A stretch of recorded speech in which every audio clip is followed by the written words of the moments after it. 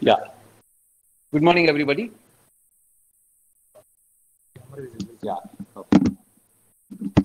I hope uh, you all had a good weekend uh, and looking forward to the week of learning. Uh, so, a very warm welcome to the Entrepreneurship Development Program on fostering startup innovation and entrepreneurship or entrepreneurship. Uh, we have with us uh, today uh, eminent people, uh, the Vice Chancellor of Andhra University, Honorable Vice Chancellor Sri uh, Prasad Reddy Garu. Uh, then we have uh, registrar, uh, uh, yeah, registrar in charge, uh, Ravindra Babu Garu. We also have online official on special duty, Professor V. Uh, Krishnamohan Garu also today. So we would, before giving it on and passing it on for the honors, honorable guests of today's function, uh, I would just like to give a quick brief of the of the five days program that we are starting off from today. Um, we have uh, eminent speakers. Uh, we're talking about uh, people talking on about startup ecosystem. Uh, Praveen, um, uh, Praveen, uh, who is co-founder of Social Hub. Uh, then we have Dr. Divya, who is also online, uh, who is the CEO of JSS uh, uh, uh, Science and Tech Park, uh, Delhi. Uh, she's going to talk on uh, startup uh, and uh, the academic and entrepreneurship, uh, the relationship, and the eco, the the, the collaborative ecosystem. Uh, and then we get into the different stages of uh, startup, uh, the formative stages, uh, where Rajneesh, uh, who is the CEO, ex CTO of Computer Science Corporation, is going to talk on that. Uh, then uh, that's that's the sessions for today. And tomorrow we have uh, Fani Patamata, who is going to talk of, uh, is going to take two continuous sessions uh, talking on validation and growth or exit. Uh, then we have uh, the last session for tomorrow, uh, where it's on startup funding, which Anudeep, Anudeep, who is the associate director of TIE AP, would be taking things forward. Then we have on the 8th uh, December, we have how do you identify uh, aspiring entrepreneurs? Uh, that's Srinivas Sevaram, who is a partner of Indigenous Consulting. Uh, then uh, followed by validating student startup ideas, uh, which uh, Deepak uh, Madala, uh, PhD from Iowa, and then uh, director of Alco Partners, is going to talk on that. And then uh, how to deliver startup awareness programs uh, by Kiran on the, the last session, which is session nine on uh, 8th December. On the 9th, hello, can you mute yourself, please? Yeah, uh, on the 9th, uh, we have uh, uh, Professor uh, Javed uh, from IIM uh, Vizag, uh, who is also the chair for entrepreneurship development, talking on um, on startup incubation and the concept and concept of ecosystem. Then I, Ravi Ishwarapu, the CEO of AU Incubation Center, would be talking about AU Incubation Center, which is and how it is uh, helping uh, the local startup and incubation systems grow, and what are all the, the uh, overview and policies, procedures, and support systems that are there. Then we have uh, Hima Bindu, who is the uh, head of operations COO for Novel Patent, talking about patents and intellectual property. Uh, uh, and on the last day, we have uh, session one, which is on handling stress by Professor V. Krishnamohan, who is officer on special duty at Andhra University and ex-registrar. Um, then, uh, then we will have a panel discussion with an interaction with startups, stakeholders of the ecosystem, uh, which is chaired by Peter Scheenberger, uh, uh, yeah, who is the CEO of SamudraSoft. And uh, eventually, the, we will close on the Friday, which is where we'll have a review, feedback, and a valedictory function, which will be chaired by uh, Dr. Ramon Rao, who is the vice chairman of uh, uh, APSCHE AP State Council for Higher Education. Um, before uh, we get into, uh, thank you, thank you, uh, one and all, for uh, being a part of this program. Uh, I would also give you a little bit of participant analytics, uh, how many people have registered and are now part of this session for the next five days. So we have about 152 people who have registered and are going to be part of this officially registered, but we also have the YouTube links which have been sent out where a lot of startups are watching it live, uh, which are not part of the participant list, official participant list, but there's an additional uh, 80 to 100 people who would be joining onto different sessions based on interest and then uh, would be uh, viewing the sessions as we go forward. Uh, so if you're talking about the distribution of the participant uh, profile, talking about 94 males and 58 females, about a 62 38% distribution, healthy participation from the female, or yeah, party, yeah, segment, you can call it. Then based on uh, the primary branch of knowledge, uh, we have engineering at 49% uh, of them uh, are from engineering background. Uh, man management and commerce about 29%, sciences about 25, 21%, and arts about 2%. Um, but again, a healthy um, mix of participants. Now we have, if you're talking by profession, uh, the largest contingent is about 82 people are assistant professors, followed by 23 people who are associate professors, 21 professors. Uh, then we have nine students, uh, research scholars, about four of them, and three entrepreneurs, two mentors and coaches. Uh, then we have lecturers, uh, senior grade and postgraduate teachers, associate deans, directors, research assistants, and resource persons. Together, about 152 people. That's the demographic segmentation. Then finally, uh, okay, great. Uh, uh, you can say cross representation from all over India. 15 states being represented in this FDP. largely um, about near 50% from AP.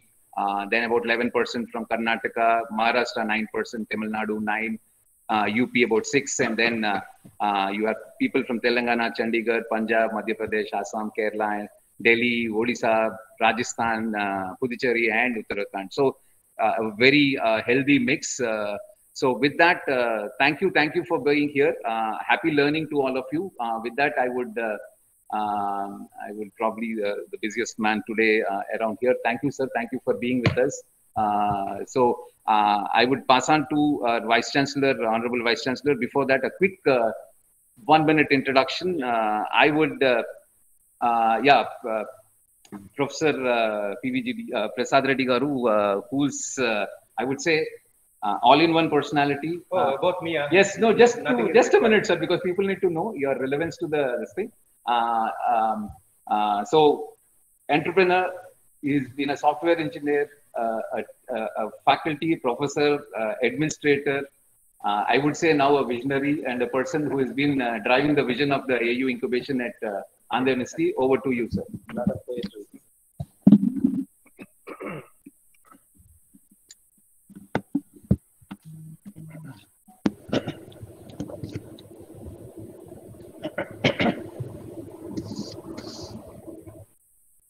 So good morning, uh, ladies and gentlemen. Quite happy to be there in the midst of all of you. Good morning. Yeah, somebody said good morning. Uh, good morning. Good morning. And uh, request all of you to okay keep your systems under mute for some time. So quite happy to be present in the midst of all of you, and I understand that uh, Andhra University, under the convenership of uh, Dr. Ravi Ishwarapu, currently the CEO of uh, the startup cell of Andhra University, is organizing, in fact, a an entrepreneurship development program, EDP program, uh, okay, fostering the startups, innovation, and uh, entrepreneurship for the next coming five days. Quite happy to understand about 152 participants, and you know, 80% of them are from okay various universities, and about 50% of them are from engineering colleges. And okay, I'm also quite happy to understand that. Uh, about 20% of them are from commerce and management and okay the arts kind of okay department and about 25% uh, are from science departments. You know, it's, it's a very really a very healthy mix. And uh, I also understand that uh, the content okay, of this particular FDP is also being telecast through YouTube channels. It's a very good sign. I'm quite happy because, you know, 152 participants, okay, out of which about 80% are from universities or from okay, educational institutions is a very, very good sign. Tell you, okay, the reason. You know, today, the new education policy is also emphasizing on uh, what is called as you know entrepreneurship. Over the last uh, 25 years also, because I, I, am there okay in the university for the last uh, 34 years. I, in fact, you know, I served with Department of Computer Science as a professor uh, prior to coming to this uh, particular, you know, administrative role as vice chancellor. And I've seen in my own department, you know, 34 years, you know, of transformation, okay, uh, okay, with reference to students. The last 25 years, more or less, you know, most of the students, they, they always, you know, look for some kind of a placement opportunity on the campus. That means a, student, okay, who joins, okay, any particular course, okay, in the university or in any college, because, you know, under the university, there are so many affiliated colleges and all, so the orientation of a student or the orientation of a parent is always with reference to a, a job. But uh, the trend is okay, in fact, uh, slowly changing. And, uh, you know, this is okay for the good of the country that way that today on the campus, at least, okay, I'm able to see uh, some percentage of the students who wish to provide a job rather than, you know, a seeker of the job. This is, in fact, a, very, very good trend, okay, that is being observed okay on uh, the campuses of uh, educational institutions because the educational institutions should have a vision a vision in the sense you know to bring in uh, the required uh, uh, the social or environmental change. And at the same time apart from giving okay normal academics okay in the classroom it is the duty of okay the educational institution to strengthen the individuals okay on the campus as well as the local organizations and you know enable them okay in fact to provide some simple solutions to the complicated problems that uh, the society currently is facing as such okay you look around today there are so many issues and especially okay india being a, a country which is just a developing country it's not a developed country right See, in a developed country, okay, suppose okay, you say that there are no opportunities, that is acceptable to some extent. But in a developing country, I would say that you know you just you know look around. You have so many issues, so many problems. When there are so many issues and so many problems, uh, okay, why not okay we empower our student to look around, okay, identify a problem and you know come out with a solution. Okay, that that should be okay. In fact, you know the motto of education today as propounded by you know the new education policy 2020 and uh, you know in that direction it is the duty of okay the teachers to first of all you know understand the dynamics of uh, entrepreneurship rather than probably i think calling some corporates uh, at the end of you know third year and probably i think through them okay organize some kind of a written test and interview send okay all our most meritorious people to join as you know maintenance support engineers it is okay the duty of the teachers today to probably, I think, identify some of the students, you know, who have got this kind of an aptitude right in the very first year of their entry into the university. This, this is okay, the real important need. And hence, you know, today, uh, in fact, government of India is also talking about imparting skills and uh, uh, uh enable okay the student to also participate in vocational education. Vocational education in fact is also important apart from normal education because the skill is important. A skill without okay uh, uh, education because you know per se education today we are looking at it only as a degree. But you know degree is really important but you know the skill is uh, much more important because most of the times what is happening okay uh, is that you know a student typically uh, he understands what is archimedes principle. But you ask him okay how does the ship float? Uh, most of this times you know a student fumbles okay. This this kind of a system is being okay imparted across okay india. So it is time that we need to probably i think think differently in the classroom and also okay identify those people who have got that kind of an ability to probably i think stand up not only just normal academics but also entrepreneurship. Today we are talking about internships right? We are talking about project works. I am in fact you know while talking to you i am getting this particular idea. Why should we ask a student to go for internship? Why should we ask a student only just to do a project work? What is happening? Okay my own observation is that when you ask him to do a project work he is going and coming okay back with some 300 pages of text which is of no use in a way. Instead probably i think we can ask him to go and work for some time somewhere and come back with the relevant experience and whatever that relevant experience okay that he obtains let him put it okay in the form of text that would add value to him rather than looking at you know uh, the, the, the the text material okay that which he is submitting. Okay i will in fact you know talk to my own deans okay to think okay in those lines. Entrepreneurship okay my own okay way of thinking i tell you okay when i was a student of this university or my okay initial 10 years of okay my existence on the campus entrepreneurship okay even to do even to today also i believe that you know it requires some kind of an ecology or some kind of a support. In the sense you know uh, uh look at okay a, a, doctor who is running a nursing home per se right? If a doctor is running a nursing home and he's a child once he becomes a doctor for him is it is very easy to probably i think get into that particular business and move it further because you know he is able to understand and figure out the steps that are required to in fact you know conduct that business and take it forward. Similarly you look at some affluent people who are already in the business their you know children can always you know effortlessly take over the business or even start some new business and you know move further. Why? The reason is that you know the family is already exposed to business. The family has got some kind of a business history and hence you know their children they understand the business language the business dynamics and they can always you know get into that and take it forward.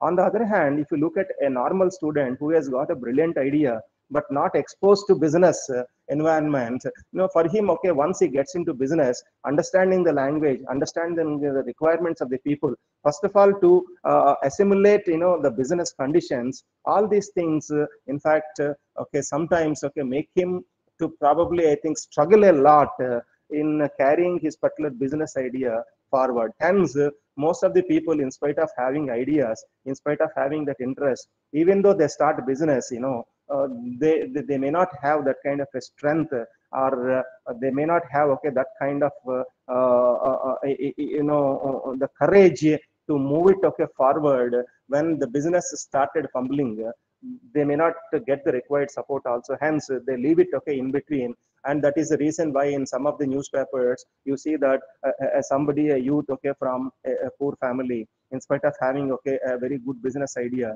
he in fact you know spent about three four years of time and he took some loans from the bank. He was unable to run the business and he did not get the required support. And thereby you know the youth you know you find them hanging from the trees this kind of stories also we see. That means today we will have to provide some kind of an ecosystem some kind of uh, a support system okay to these such students. Governments are also thinking in those lines uh, and hence they have come out with you know the ideas called startup ideas uh, wherein uh, if a student has got an idea okay on the campus we will try to provide a support system. We will try to provide you know the physical infrastructure. We will try to provide the required mentorship using experts. And we will also try to provide you know the required retainer services. Whatever bank loan that he requires whatever the initial support that he requires government will support. And whatever later bank loan required you know that is also provided okay right on the campus. And okay uh, whatever is is starting idea if that idea requires you know some kind of a mentorship the ideation phase you know the, he gets the support. And in the very initial stage itself uh, there are experts uh, to tell him whether the idea probably i think would click or not. And if the idea okay is a good idea then probably i think how to take it forward and how to add things to him how to probably i think okay convert that particular idea into a marketable product and how to create an mvp for that and how to probably i think uh, guide him to see to it that you know he installs his, this particular idea or product uh, into the public domain or into the government domain.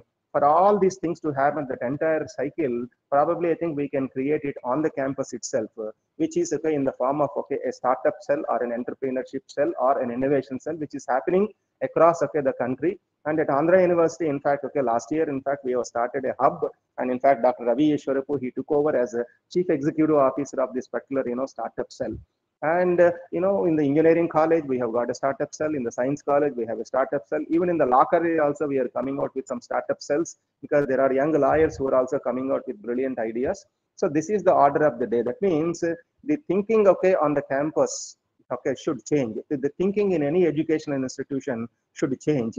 Students, okay, should think about okay creation of jobs. Uh, rather than getting into okay an employment because the word placement in fact okay in a way is a very very sick word because you know uh, placement that means you know mm, the, the, look at the concept of uh, uh, a parent okay a parent is under a concept called you know uh, job job in the sense you know placement uh, okay education gives placement. That is the concept. So that is incorrect because you know the job or placement is only for survival but education is not for survival. You know education is for your overall development. So we need to probably i think uh, separate these two things uh, and enable student to educate himself on the campus and get you know overall development of himself. Because all these days we are uh, in fact considering that uh, uh, memory itself is intelligence memory is not intelligent because somebody is just reading a textbook uh, uh, and okay maybe stacking some information in the brain. You can't okay call him as an intelligent person because in the in the times to come you will have probably i think some kind of a digital chips chips which store more data which store you know more number of okay uh, bookish knowledge. They can also the chip can also talk about that knowledge. You know you can't call that particular chip as intelligent chip okay? It is no doubt okay storing some content. And just because it is storing content you can't call it as intelligent in the same way that we are looking at somebody as an intelligent for the reason that he is able to hold some information so uh, down the line uh, the intelligence means you know the, the, how consciously you are able to carry out things how are you able to progress okay towards okay the next step. These two things probably i think would play a major role in the age of okay what is uh, uh, today you call it as machine intelligence age where you know machines probably i think would stack up more information analyze the data and predict and give certain results. The humans or the education system is expected to probably i think uh, uh evolve okay itself uh, to cater to the future needs. Because at one, uh, one hand, you know, government is in fact okay asking us to see to it that the uh, gross enrollment ratio goes up from the current uh, percentage of 26.5 to, uh, to 50 by 2040 that means okay we will have to probably i think upgrade our own educational systems. It is not possible for us to in fact you know establish a new educational institutions because if you have to go from 26 to 40 means you will have to double the infrastructure which is not possible. You will have to double the universities double the colleges which is not practically possible. The only way that we can impart education is by probably i think uh, adopting a digital mode so digital platforms okay making use of digital platforms and offering online degrees this uh, should be one of the okay uh, best alternatives. So i would advise you know mm, the teachers who are currently okay looking at uh, this particular or uh, who, who have registered for this particular entrepreneurship development uh, program to think on those lines also okay and give some kind of uh, case studies to your students to come out with ideas how to probably I think okay enhance uh, the gross enrollment ratio by adopting okay new digital means. Can also be a, a, problem of study to them so that you know they come out with their own models. And those own models uh, these these models you can analyze it. And then okay once if you think that a particular model okay would definitely click you can support that. You can think okay about getting some kind of assistance from the government because this training and teaching is going to be a big multi-billion dollar industry not only in india across the world. You see uh, youngsters, okay, who are you know quitting jobs from uh, plum positions in the software industry and getting into this you know uh, trainer uh, uh, uh, kind of okay trainer training business. And you know such people are in fact you know are revered you know across the world. I have seen okay some people who are releasing okay their okay videos in the youtube and they are able to get more number of viewers and making really good money right? So that means um, uh, sky is only the limit, especially with reference to this training industry also. You require a lot of youngsters to get into this business and probably, I think, uh, enable uh, the future citizens to learn. And this is one business like that. There are so many, so many, okay, business activities. As I made a mention in the very beginning that India being a developing country, you look around, you have so many issues. You have issues with reference to water, you have issues with reference to environment, you have issues with reference to food you have issues with reference to okay the environment to agriculture whatnot you know so many problems are there you know around us. And if the student community can probably i think look at these problems and understand okay uh, to address these problems by way of coming out with some novel solutions because a novel solution is always important. Whatever solution that i can probably give may not really address uh, the current challenges. I tell you my own okay experience, okay, or my own you know um, understanding. what Honorable Chief Minister of Andhra Pradesh, exactly 20 days back, he called all the vice chancellors, and in the review meeting, he casually made a mention that uh, I am, in fact, you know, trying. This is what, in fact, Honorable CM said. I am okay in in the he, he became a chief minister exactly at the two two years back, and he is one person okay who is doing his level best to eradicate corruption in the state of Andhra Pradesh. And he made a mention that in spite of okay his strict governance uh, uh, to eradicate corruption, he said that still corruption is there in two departments. One is town planning department, and he says that somehow he is not able to uh, um, make the corruption to zero level in town planning uh, department. And he also said that the other okay, corruption is happening at uh, uh, the registrar's office, you know, where, you know, the land registrations, etc., they happen, and also land conversions happen. Then he made a mention that uh, why don't you ask your students to come out with some novel ideas because the future belongs to them? And what kind of a solution is required to probably i think address such troubles rather than the current generation? If you convert this particular okay, issue as a problem and place this particular problem in front of the next generation students uh, making use of you know technology. They always you know would come out with a novel solution. And he said that you know bring out such novel solutions pass on the solutions to under cm's office uh, so that i would okay advise somebody to go through all the solutions and validate and adopt okay this kind of a solution. See, see this is the view. That means uh, the issues of today cannot be solved with the ideas of uh, yesterday we we with the teachers okay we one way we belong to okay the yesterday in the when it comes to our ideas or you know making use of tools. Whereas the current generation uh, students because they, they, they belong to this generation and they cater to the needs of the future enable them okay empower them ask them to come out with some novel solutions uh, so that the country becomes you know uh, the best possible country.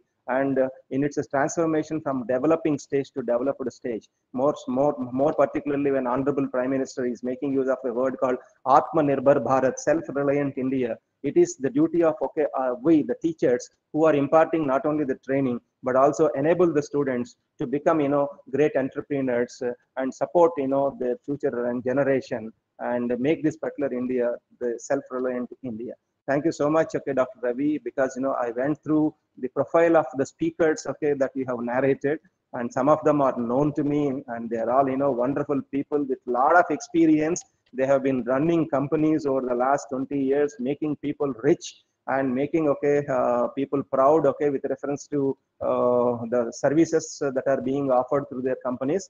I don't know how in fact okay you convinced them to give time to deliver lecture for, for about one one and a half hours in various sessions. And i'm confident that you know with the lectures from okay these profiled people uh, all the audience about 152 people okay who are uh, registered to this particular workshop and uh, more particularly of the remaining students who could hook on to youtube okay at various points of time to probably i think enrich themselves with reference to uh, specific lectures. All of them okay would stand okay uh, the, to get okay the right benefit and uh, please record all these lectures so that we can also display them okay in general classrooms to uh, probably I think inspire the other student community who are otherwise not able to probably I think listen to these lectures uh, for paucity of time or maybe I think uh, the examination and academic schedule probably I think may not allow them to probably hook on to this particular workshop. We can also probably I think ask them to go through all these things. Thank you and I wish you all the best. Thank you, sir. Thank you so much. It's an honor to have you here, sir. Uh, uh, very well said. I think you made a job pretty easy. Uh, you you have actually highlighted. Thank you. Thank you, sir. Yeah, uh, a very uh, this thing. Uh, you probably have given us why we need this EDP and uh, what we should be doing as part of the EDP. Very well said, sir. So talking about uh, the role of a student, the role of a teacher, role of a parent, how they have to relook things in the new context. Uh, you've given use cases of what the government is looking for asked uh, so you've given us also some things that we can work upon uh, thank you very much sir uh, so so happy to have you here and then of course thanks for your visionary thing of setting up the incubation space the hub and spoke model and how we can make a difference to the local community of uh, generating employment and uh, contributing to the GDP of the nation in the in the local community. Thank you very much, sir. With that, uh, sir, I would hand it over to our my own professor, Professor V. Krishnamohan, who is the ex registrar and now currently the officer on special duty at Andhra University. Um, so Uh, sir, over to you, sir, uh, for your uh, uh, opening uh, yeah, remarks before we start off uh, uh, getting going with this thing, uh, with the, with the FDP.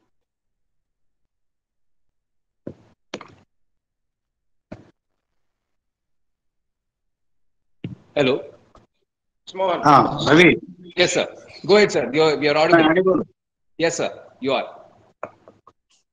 Uh, it is great that, uh, you know, at last we could uh, connect. I am in a class. So the inaugural of Vice Chancellor message is heard by all of our students in the class. And I'm so happy to join all of you in this inaugural session, five day long FDP to sensitize students uh, in the area of uh, entrepreneurship as a career. And we know today innovation is the key for pro- progress, both for an individual and an institution. Even the country progress depends on how good you are in terms of your innovation. And uh, unless you innovate, you need to leave way for others, is the order of the day. One need not become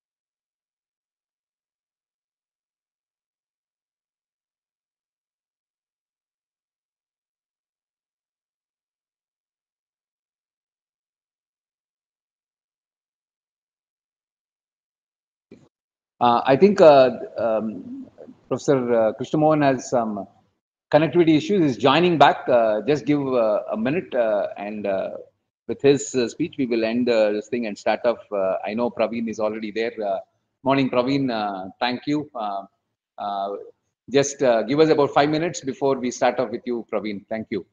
Sure, sir. Thank you.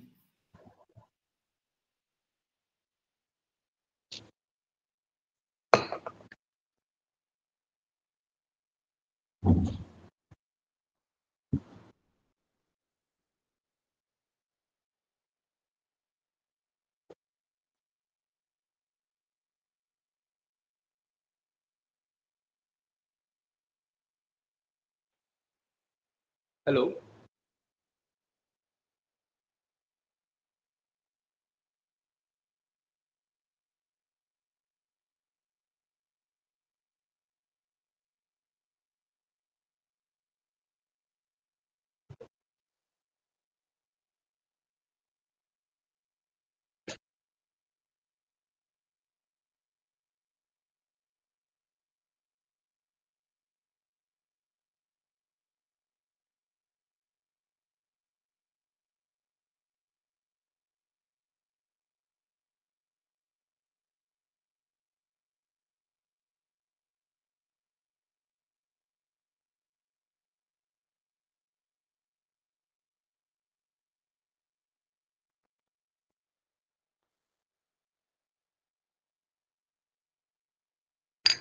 Sir, uh, sir, are you there, sir? Can you hear us?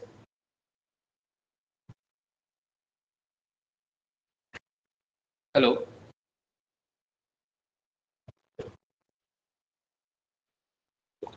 Thank you, sir. Thank you, sir. Okay.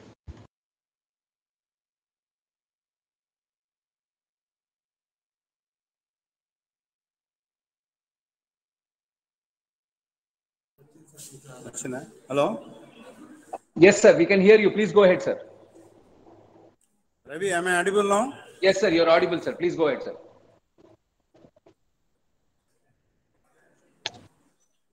మీ అన్ని sound కట్టేయండి yes sir please go ahead sir mute చేసేయండి. Ravi I audible yes sir you are go ahead sir please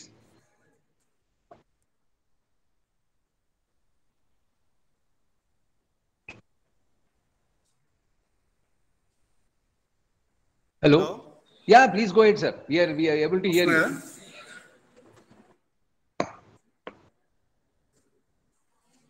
Hello.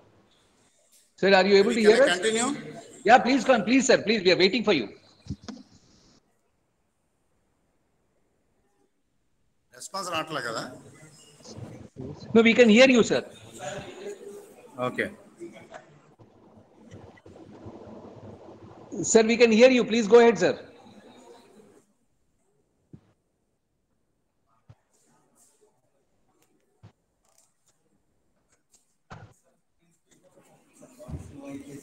Hmm? Sir, we can we can hear you. Please go ahead, sir. Hello. Sir, we can hear you. You please go ahead. Okay. Hello. Hello.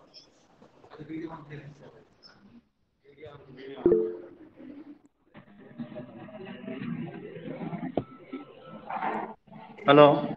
Hello. Sir, we can hear you. Please go ahead, sir. Okay. I was just mentioning that uh, I am so glad so to be here on the inaugural, session. Just now you have heard our Honorable Vice Chancellor explaining importance, explaining importance of entrepreneurship. Of entrepreneurship. Sir, uh, student somebody, level. sir, somebody in the room is also switched on and ask them to keep, please uh, mute it, sir, because otherwise it's echo. It's echoing. Echoing, eh? Yeah, yeah, because there are more than one system out there. Uh, somebody also is all, uh, there one more system will- probably in the same room uh, where uh, they have to mute it. Uh, Okay. okay, yeah, sir, go ahead, sir. మీరందరూ కూడా muted చేసేయండి yeah. All of you mute the mic. It's on. Okay. okay, go ahead, sir. Okay. I was just mentioning importance of uh, entrepreneurship. As a student also, one need to learn because whatever profession they are, certain qualities of entrepreneurship are very much need personal success. Therefore, the program, five-day long FDP program is going to benefit all the participants. And entrepreneurship is the need of the hour. As all of us know that entrepreneurship is a key to both economic and social progress of a nation. Now, through this sensitization program, the participants are given enough, you know, orientation towards uh, choosing entrepreneurship as a career. And the key to success in entrepreneurship is the innovation. And today, the environment is such either you innovate or perish. If you fail to innovate, there is no progress, there is no success, there is no life. Be it a profession, be it business, be it employment. Unless you conduct yourself innovatively, even as an employee, and you need to take certain amount of risk. So that way, every employee is also an entrepreneur and all those participants need not become entrepreneurs but uh, the sensitization program is going to create awareness in turn and the word of mouth is going to spread the importance of uh, entrepreneurship in the years to come. So the organizer ravi Ishwarapu is a successful entrepreneur he has created many startups, and that is one reason why today he is CEO Incubation Center. And this FDP program is not only to sensitize all of you, whoever need his help, you can contact him, and he is going to provide mentors. There is a mentor pool, and which definitely is going to result in name and fame, not only to you and to your family and to the alma mater institution, and also to Andhra University Incubation Center. So I take the opportunity, really congratulate all of you for joining with a curiosity to know what is entrepreneurship, how do people can survive and grow in entrepreneurship when they take as a career. And I am just reminded the words of uh, Dhirubhai Ambani, who is a big business tycoon in Indian society. He was telling in a press meet, see, if you don't want to use your innovation, somebody is going to hire in pursuit of his or our own goals. So if you want to be entrepreneur, if you want to pursue your own goals with your own creativity, be independent and try to involve yourself is the message given by him. So if you don't use your talent, you know, your talent is acquired by some clever businessman in pursuing such business people ambitions of life. So you remain employee and they remain successful business people. So that is the spirit with which all of you need to learn entrepreneurship and uh, not only understanding, you feel motivated, recharge yourself with all those requirements and talents that are needed to become successful in entrepreneurship career. I take the opportunity, wish all of you a happy learning and productive learning leading to successful entrepreneurship. Either at the end of your studies, you need to get employed with these qualities or you need to become an entrepreneur. These are the only two objectives in the new education policy. In pursuit of your ed education and uh, think that way and come up in life. I wish all of you the very best of luck. Thank you. Thank you, sir. Thank you very much. Uh, uh, uh thanks for the good words. Uh, with that, I know uh, we are a little bit 15 minutes beyond schedule. I know we kept we keep Praveen waiting up there. Valli, I know now the team.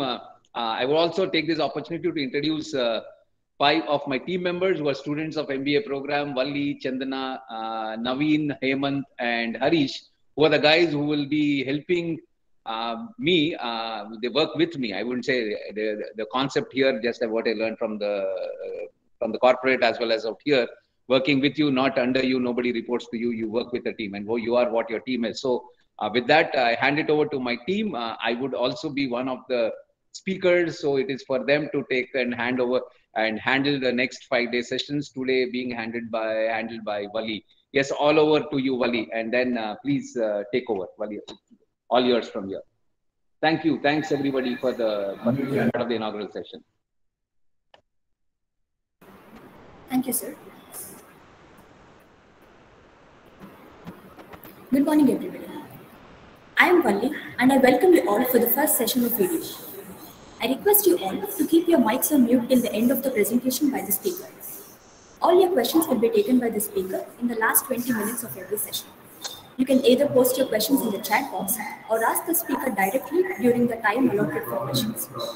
If you have any technical problem during the session, please post it in the chat box or contact the coordinators mentioned in the email sent to you. For the first, the first session is on startups, innovation, entrepreneurship, and the ecosystem. The speaker for the session is Mr. Praveen Dorna. Mr. Praveen Dorna is the co-founder of Social Hub, a SaaS community management platform for brands to build their private social networks. He holds an MBA degree in entrepreneurship from Babson College, USA, which is ranked number one in entrepreneurship globally. He was previously involved in startup wings at corporates, where he built an innovation management program for a $6 billion US company. He has over 12 years of combined work experience working with startups, franchises, MNCs, and non-profit organizations across payments, travel, education, robotics, media, ERP technologies in tech and managerial roles in US and India. He is a consultant for startups and incubators and is a visiting professor on lean startups at Symbiosis Institute of Business Management Pune, Flame University, and Mahindra University, in addition to serving on boards of non-profits. It's a pleasure to have you here, sir, and we thank you for being a part of this EDP. I request you to start the session, sir. Yeah, thanks, Srivalli. And uh, if you guys can hear me, Srivalli, am I audible? Yes, sir, you're audible. Thank you. Yeah, uh, good morning, everyone. And I would like to thank the whole team at Andhra University for putting this together and inviting me. Uh, it's, it's no easy feat to conduct an EDP program.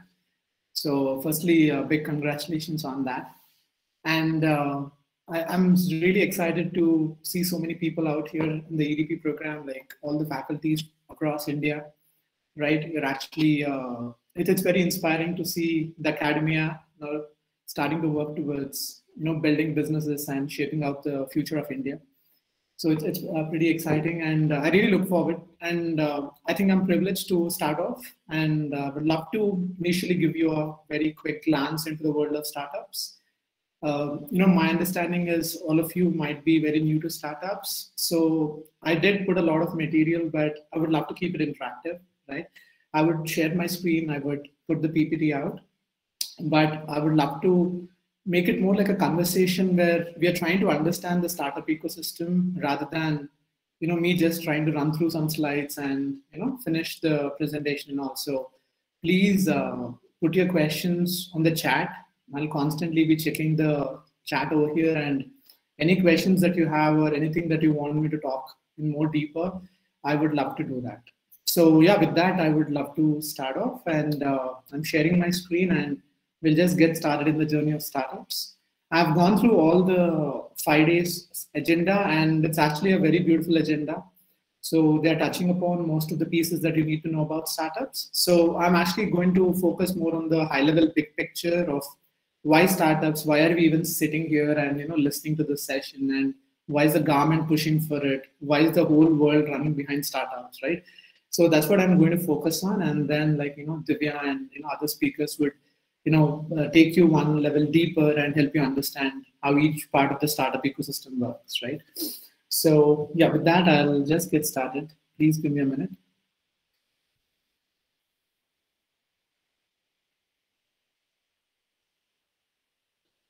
Okay, uh, hope you can see my screen. Yes, sir. Okay, perfect. Thank you. So yeah, uh, I think uh, you'll be see seeing a lot of cool words here, but I think I'll demystify everything for you. I'll simplify everything for you. Um, you know, at the end of the day, it's it's nothing new. It's just something that all of you know. It's just more about connecting the dots and you know help you just reconnect and obviously tell you some things which probably you might not have experienced before. So yeah, today I the first session, right, I would focus on very much in terms of understanding this whole landscape, right? Whenever we say the word startup, what that actually means, what innovation actually means, right? What entrepreneurship is about in India, across the world, and uh, why are startups getting so popular, right? Uh, there have been big businesses, big, big companies, you know, in the last 30, 50 years, but off late you see there's a madness going about startups right everyone wants to build a startup so what exactly is a startup why is it different right? All of us use the, use the word innovation right? As rightly said by registrar sir and all uh, but let's understand what they are in a much more deeper way. So that's what i would focus on and you know uh, divya would probably take it from there in terms of uh, the next steps on that right? Uh, so i'll give you a quick uh, introduction right? I'll, I'll probably just quickly tell you my story uh, you know, because probably the bio, I'm not sure if that made sense to you or not, but I've been somebody right from my college days. I've been very interested in startups, and this is like 10, 15 years, right? So I studied in, uh, you know, Osmania University undergrad, and then I went and worked with companies. I ran franchisees. I worked in, uh, you know, big companies. So pretty much in my last 12 years, I had a chance to work across the spectrum. So everything from the smallest of companies, including nonprofits, franchisees, to small-size companies, mid-size companies, MNCs. Right. So I've done. I've uh, kind of got exposed to a breadth of things because I always wanted to build companies and run companies. That has always been something that always interested me right from college days. So I've been doing that, and in the process, yes, I did my MBA as well uh, from Babson, which is uh, ranked number one for entrepreneurship. And uh, I learned a lot, and even in the US, I was working a lot on innovation consulting. So I was building innovation programs for uh, billion-dollar companies, right? Uh, I was trying to see how you know uh, startups can be built within bigger companies, and also was active part of the startup space abroad. So that also gave me a very good handle in terms of how innovation works, how startups work, and all. Uh, with all that, uh, I moved back to India around five, six years ago from the US, and uh, I have been uh, working on my own startup. But parallelly, because I've worked in innovation and you know consulting and education space, so I really like teaching on a personal front. So even I'm a teacher. Uh, probably you know I, I teach part time. all of you are probably much more deeper. Uh, so I teach on startups. I teach on lean startups on how startups can be built quickly and how they can be treated quickly. And also I teach at uh, Mahindra University, Flame University, Symbiosis Pune. So I teach all these MBA folks around how to build startups. And uh, like the registrar sir rightly mentioned, uh, startup is more like a mindset, right? You can use even that startup mindset even in smaller companies, bigger companies. Doesn't need to be that you have to be the owner of the company I think that's the a very beautiful statement that's made that a lot of people don't understand. Uh, having a startup mentality is just more like I'll go do something and get stuff done, right? So that is the kind of mentality. So yeah, as of today, I run a startup, a tech startup myself, and uh, I also consult uh, some funded uh, companies, and I you know I even uh, you know help startups and incubators uh, now and then in terms of you know putting this stuff together. So that's quickly a, a brief about me. I'm more than happy to connect post, but uh, you know, there's hope this helps you understand. The reason why I'm telling you this context is everything that I'm going to talk is based on all these experiences that I've gone through in the last you know 10 to 15 years across the US, India, you know, and uh, have been build, building networks. Right, I uh, just prior to this company, I even ran a social network for startup spaces in India, right? Like a LinkedIn, Facebook for startups. So yeah, that's pretty much about me. Now, you know, first and foremost, uh, welcome to the world of startups, right? Uh, you'll be hearing all these cool words moving forward. A lot of these buzzwords, I would say rather, right? Uh, so pretty much, you know, just putting a word cloud out here, which will, you know, you, these are the common terms that you keep hearing over and over and over, and that you'll also hear in the next five days of your uh, journey, you know, with this EDP program. So let's get started with uh, diving into this. So yeah, let's uh, start checking this out, right? Uh, so if you see 2009 and 2019, right? Uh, if you look at 90s and early 2000s and all, there used to be companies, right, which were big, and they used to stay and they used to have dominance. Like if you take GE, for example, right? Uh, General Electric is something that all of you know, right? They have been in the business for over 100 years and, you know, they control the market. They're like super huge. Same with a lot of big, big, big companies, right? But now when you start seeing what's happening, right, in the last 10 years or so, everything is actually changing, right? Uh, right from the way companies are coming, the way companies are getting shut down, a lot of stuff is actually happening uh, on each of them, right? Uh, so what I want all of you to understand is very much like the whole landscape is becoming more and more dynamic, right? Because a company that is like 10 years ago is not existing today. A company that was not even, you know, started 10 years ago is now like one of the biggest companies, right? So there's a huge shift because previously companies used to take 30 years, 50 years, 100 years to you know become like the biggest ones right? But if you look at like a lot of these companies in this list they are like 10 years 20 years right?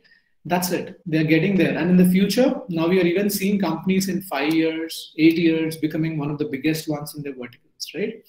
So this is the beauty of what's happening where previously innovation was more like a luxury but now innovation is not a luxury it's a necessity everyone has to innovate. Even the existing companies even the biggest of companies they don't have any other option other than to start innovating right? So this is like one of the example that i wanted to show.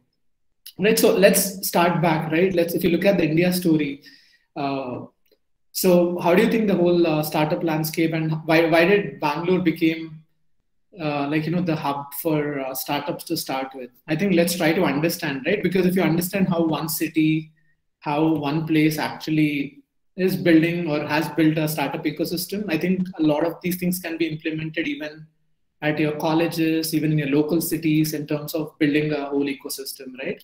So we'll we'll get to that, but uh, you know, would love to hear your thoughts. I think you can put it on chat, and uh, just one second. Yeah, uh, I would love to hear it on chat in terms of uh, you know, what do you think was the triggering point for Bangalore uh, startup spaces? Right, all of you know that company. What's that company? Would love to see that in the chat. Yeah, I mean, let's keep it interactive, right? I don't want to go on talking and talking and talking, and right, it'll get, get boring. So, what is that popular company in India? You know, which actually triggered a lot around building companies and Bangalore becoming a whole IT destination. Any guesses?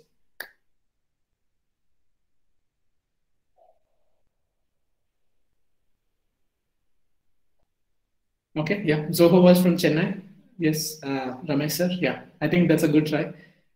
Yeah, yeah. So these are the new ones, right? Infosys. Yeah, yeah, yeah. Right. Uh, so yeah, I think that's uh, that's the right answer, right? What happened was, if you look at, I think all of you are like you know pretty much well versed with most of the happenings in the last 20, 30 years, right? So what happened was uh, Narayana Murthy and Infosys, they actually uh, started, uh, you know, this whole IT businesses out in Bangalore, right? There were a lot of other ones coming up as well. But these were one of the ones which actually brought that whole global outsourcing to India, getting software projects, building it out in India.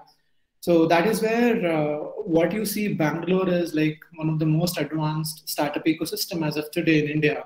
That's primarily because its roots have been built like 30 years ago, right?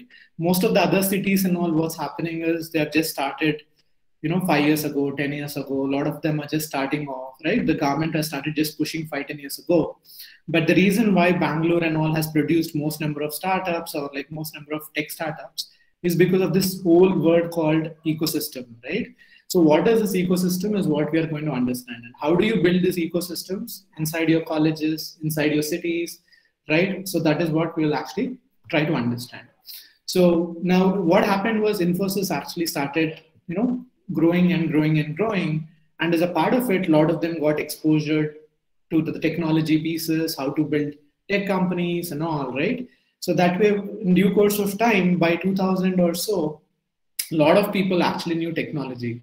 And uh, seeing the same vision, like, you know, even Hyderabad, few other cities as well, started picking up, right? The technology pieces around it. So what happened with this is whenever a lot of them actually work in these companies, they themselves want to also start companies, right? That's something natural to all of us. Now, if I work with some company and I really like what they do and I feel that I can go start my own business, you know, I would go and start my own business. So this is what happened. So a lot of them who worked in Infosys and a lot of good IT companies that came up, they all came out and said, hey, I can start my own company. I can go build my own company, right? So that is how people started coming out, and more and more startups started coming in, right? Uh, yeah. So the whole catalyst, uh, I think Abhimanyu has a great question. What was the catalyst behind it growing up into one big ecosystem, right? Uh, any ecosystem is uh, so ecosystem is just an old word packaged into new things, right? Uh, like you know, if you take this college ecosystem now, all of us are coming together in the EDP program and actually learning from each other so this is a micro ecosystem. Now, what all are part of the ecosystem? There will be corporates, colleges, mentors, investors, right? So for an ecosystem to really work, the whole community has to come together. It's not like one of them can go pull off. It's like all of them coming together, collaborating with each other. Like you know how I'm coming in, some other speakers are coming in. Now you know we are you know giving something back, and uh, you know all of you will go and give back to a lot of students so that way, you know, a lot of these things can happen, right? Uh, yeah, Sudhir sir, uh, do you want to share something? Yeah. Uh, so uh, anybody uh, wants to share anything, you please put it in the chat. I would just bring it up, or if needed, you know, we'll have a conversation. So, right? Sir, I'm not able to see your slides, sir. Oh yeah, yeah. Uh, I am just putting the chat because I'm seeing the questions. Got it. Got it. I'm just moving into that. So uh, the thing with Bangalore is, uh, you know, let's see that story. So now a lot of these startups came in, right? And in 2000s onwards, what happened is a lot of them started building uh, tech companies, right? And uh, there was one very important technological change in 2000 to 2010 that really helped build a lot of startups. Can any of you guess what was that? At least uh, people who are from computer science and all, right? Because previously, if you remember, uh, you know, building any company needed us to buy the server put everything together. So there was a huge investment even to try an idea, right? You know, then something happened after which trying ideas has become very easy. Can can anybody take a guess at it? Cloud. Yes, absolutely. Right. Cloud, cloud technologies, Amazon and all. So yeah, that's the beauty of this, right? Now suddenly one beautiful innovation came in, right? Till then the whole concept was let's take a lot of time to build companies, you know, put in a lot of money, and that's when something will work. And also, it used to be more like you know standard service companies, right? Like if you need something in Hyderabad or Delhi, you need to go to those places. They can't offer you somewhere else. So this was the system, and it was not. It was very decentralized. But suddenly, what happened is with cloud technologies coming in, cloud is nothing for like you know those who might not be super tech savvy here.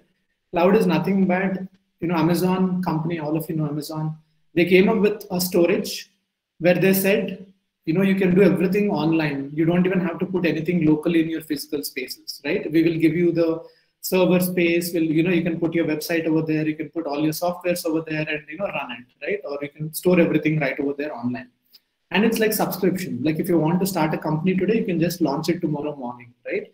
So this is how a lot of technology startups started coming where they said you know let's build companies on cloud and this whole cloud computing is the reason why you saw Facebook's, you know, all these big companies like, you know, all the Twitters of the world, Facebooks of the world, right? All these Instagrams of the world, all of them started coming in because of the cloud technologies, you know, so that's like one big innovation that really moved everything, right?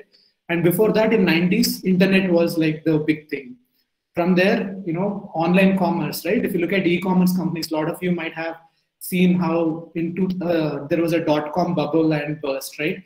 So that is where that whole era was more around paying online, seeing online. Before that, internet came in. So if you start looking at it, right, they're actually trends. If you start observing what are the trends, innovation will come from these trends of how people are behaving, how things are shaping up, right? So what I really want you to understand is to start looking at trends at a much broader level. Like, you know, what is happening around us? What will be next five years? What will be next 10 years? When you start knowing this, right, a lot of these ecosystem players, including all of us in this room, we have to start looking at what is the future. And when you start looking at the future, we are investing from now on for a great future, right? That is why we're building companies, we're doing a lot of innovative stuff, trying to build companies, right? So the story goes like in 90s, internet started becoming, you know, everyone's thing. In uh, early 2000s, you know, online payments, right? E-commerce, all of us could go online and buy, especially in the US markets. In Indian markets, it started with Flipkart and all, right? Or you know a few other companies, uh, Infibeam and all in 2005 onwards, right? So now all of us just go online and buy without any stress. You know that's the level of penetration that a lot of these things have happened. So the beauty is with a lot of these companies coming in, previously everything had to be built in house. Now you don't even need to build anything in house. Like for example, let's say I want to launch a, a social network for Andhra University, right, or a social network for all the participants in this room tomorrow morning I can just take a software and use it. I don't even need to code. Let's say I want to use a payment gateway. You can just within one week apply for a payment gateway with Razorpay or Stripe or any other online vendor, and you can get your own payment gateway. Otherwise, it used to be like a six month, one year effort to just build a payment gateway. Like let's say you want to have chat on your website, right? Let's say a chatbot on your college website. Now it is like you know within a day you can get a chatbot onto your college website so that is the beauty of how technology is building up and technology is integrating. So all of you, even if you like it or not, technology is going to be a super integral part of everyone's life. And I think all of you already realize that. Right. So there's the beauty of what's shaping up and what's going on. So let's start understanding each of these things. So I'll just start off with two student startups, right? Uh, very small, simple examples around innovation and all. I'll be mindful of the time. I'll uh, close by 11 and we can have interactive Q&A from there, right? Uh, so let's talk about innovation, right? A lot of us think uh, uh there is some noise. Uh, request uh, some of you to please mute. Yeah. So yeah, so pretty much, yeah, yeah. Please request you to mute. there's some online noise for me. Yeah. So uh, let's talk about innovations, right? All of us think uh, it always looks like a big term, right? It is not something like, you know, it is not something that. Uh, can you please mute uh, Tech Prahas? Yeah, cool. Uh, thank you. So uh, pretty much uh, the first thing is, you know, uh, innovation happens at like, you know, two levels, right? In a lot of times, whenever we talk about innovation, all of us think that it's a big thing. It's something that, you know, it takes a lot of research. It takes a lot of time, energy, right? It's not like that. Actually, whenever we are building companies, a lot of innovation comes up from the smallest things that all of you see, right? If all of us are sitting for the next three hours, six hours, all of you can actually come up with a lot of wonderful ideas. And in fact, like, you know, it is very much possible that all of you can innovate. So people have really complicated the word innovation, but I'll give you very small examples of innovation and, you know, you can understand. And all these examples I'm sharing are purely by college students. I'm not even talking about some, you know, super experienced professionals and all, right? So all of you know this pen drive, right?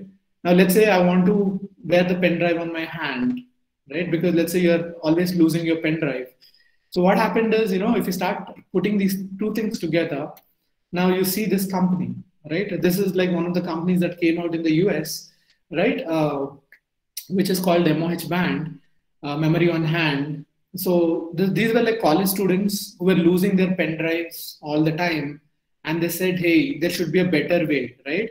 So they said, uh, "You know, why can't I wear my pen drive on my hand?" So they took this and they made it into one single thing where you know this can be done. But obviously, you know, people want colors, people want their logos. Now, let's say I print each of your college logo on the pen drive and give it to you. It is such a cool thing for you, right? So this way, what happened is uh, they started actually putting all these things together, and in one year they sold more than four lakh units of just this thing, right? This is something that any of you can come up with. It's not even like rocket science, super difficult all of you can just you know pick this up and you can make this. And they literally sold $400,000 400,000 units in just one year. So it became so viral because everyone uses a pen drive and everyone wanted to you know have it like a nice band in the student space right? So this is what innovation can be. You don't have to really build big big innovations. And even your students right if they're actually solving problems around you with the smallest of innovations they can be commercialized. It doesn't have to be the next big company, but it has to solve problems where people are actually, uh, you know, getting value out of this, right? So same is the case, right? Now, actually, off late, you see there's just a water bottle. Now I'm, I'm attaching IoT, right? Internet of Things. So I'm using internet to connect the water bottle. I'm putting a sensor out here and all. And I can literally track how much water is there in this, right? What is the temperature? What is the level of water? Right? Giving me reminders saying that I should drink, I should refill, right? Now, this makes your life so easier, right? So, selling bottles is anybody's job. Now, I'm innovating on the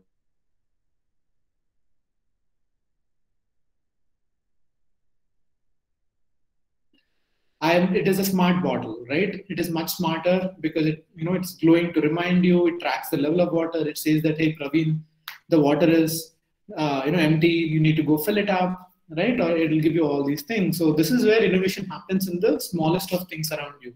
You don't even have to actually complicate a lot of these things, right? And uh, you know, talking about these things as well, right? Drones is something that all of you might be seeing, right? So this is what I'm talking about the trends, right? Because all of you know what is going to happen in the future. Uh, it's just that you know all these are so big that you can't avoid it. We are going to see them again and again and again even if you read newspapers or not, even if you look at news or not, doesn't matter. You're going to constantly get bombarded by these trends, right? And one such trend is, uh, you know, drones, right? Um, so till like 2015, 16, drones were illegal, but now suddenly drones have become legal, and you see drones being used everywhere, right? Including the photo shoots in weddings, to surveillance, right?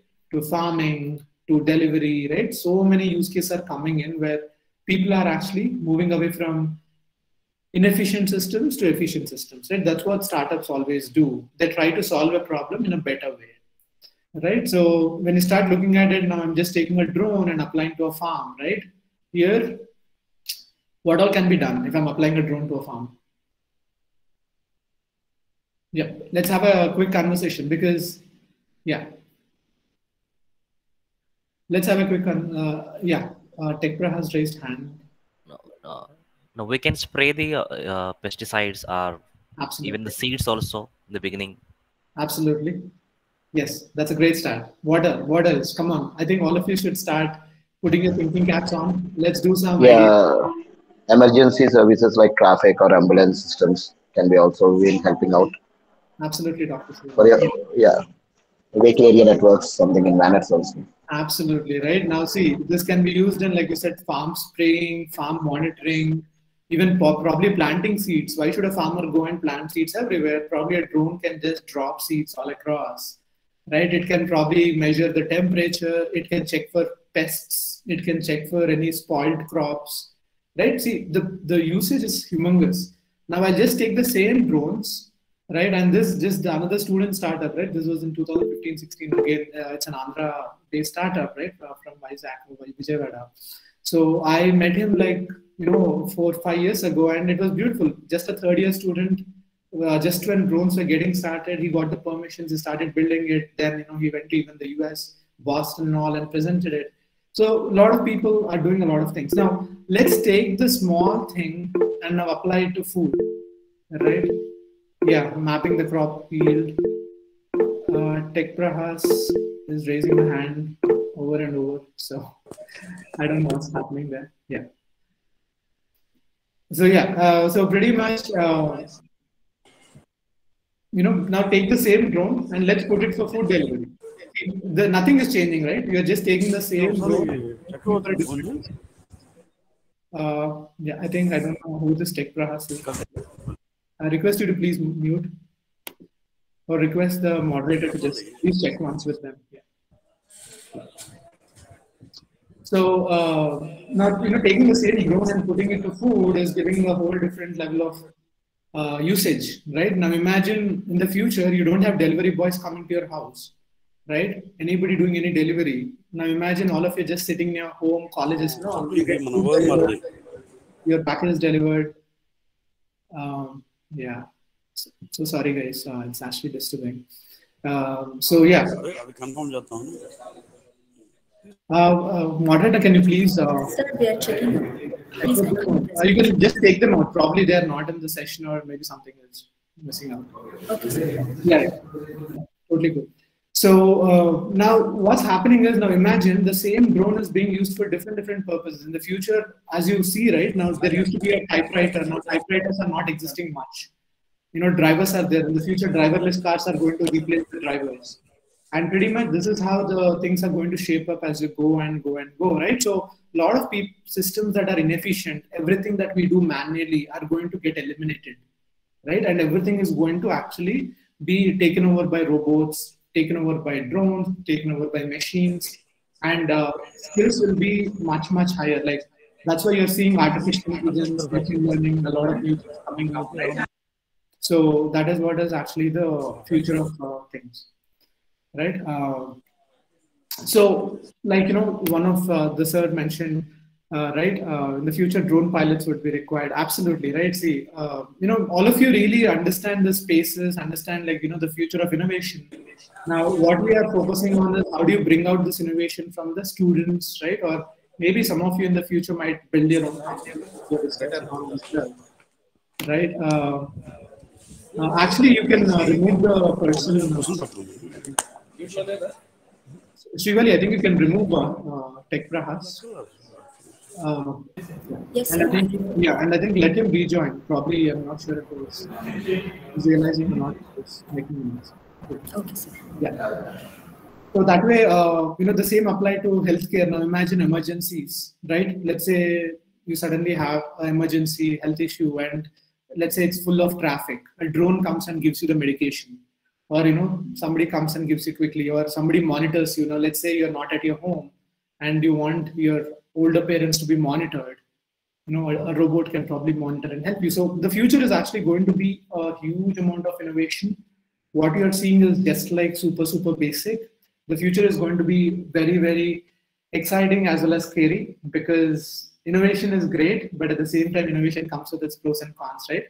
So a lot of you might be thinking like, how do I find trends, right? Uh, I, I believe all of you have questions. So, you know, Google is your best friend. I'll, I'll just show you some very interesting things, just as, you know, basic things for you to just get a hang of. Uh, there are sites like something called Trend Hunter.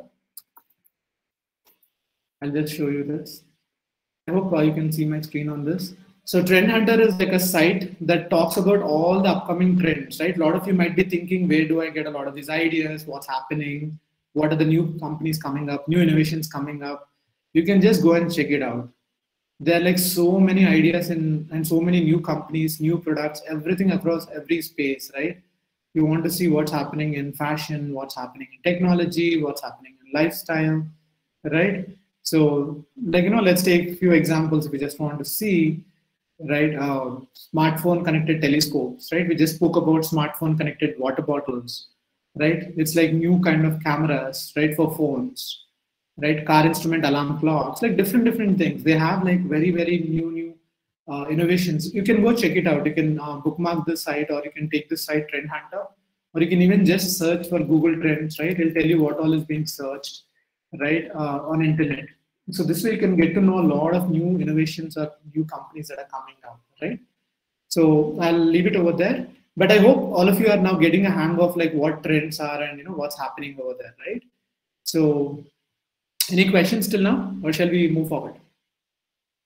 I mean, my goal is to just give you a glimpse and make you super excited about the future.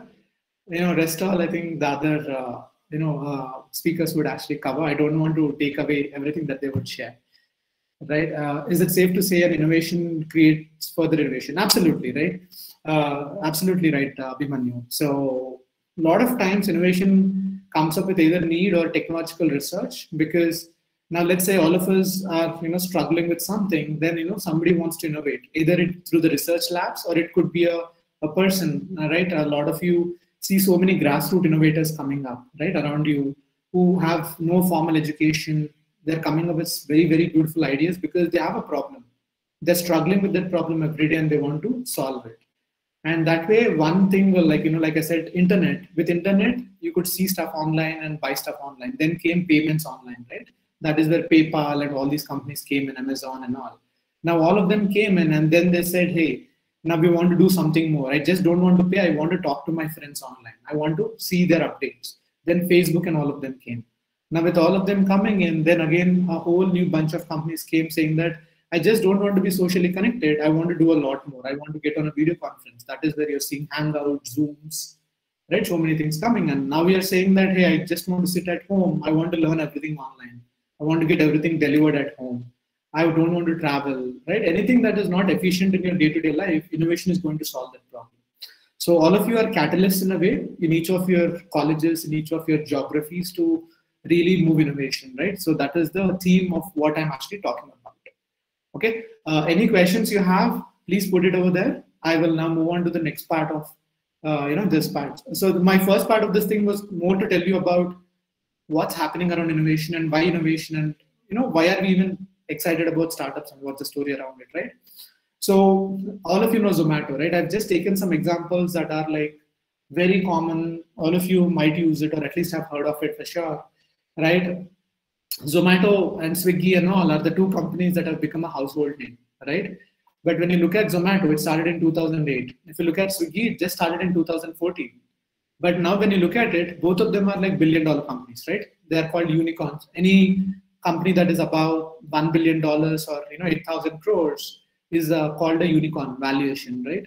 So now there is like too many unicorns coming up now. And if you look at all these, the beauty is all these companies have just started like 10 years ago right but if you look at right now they are like you know 10 billion 15 billion dollars and all can you ever imagine a regular service company doing this?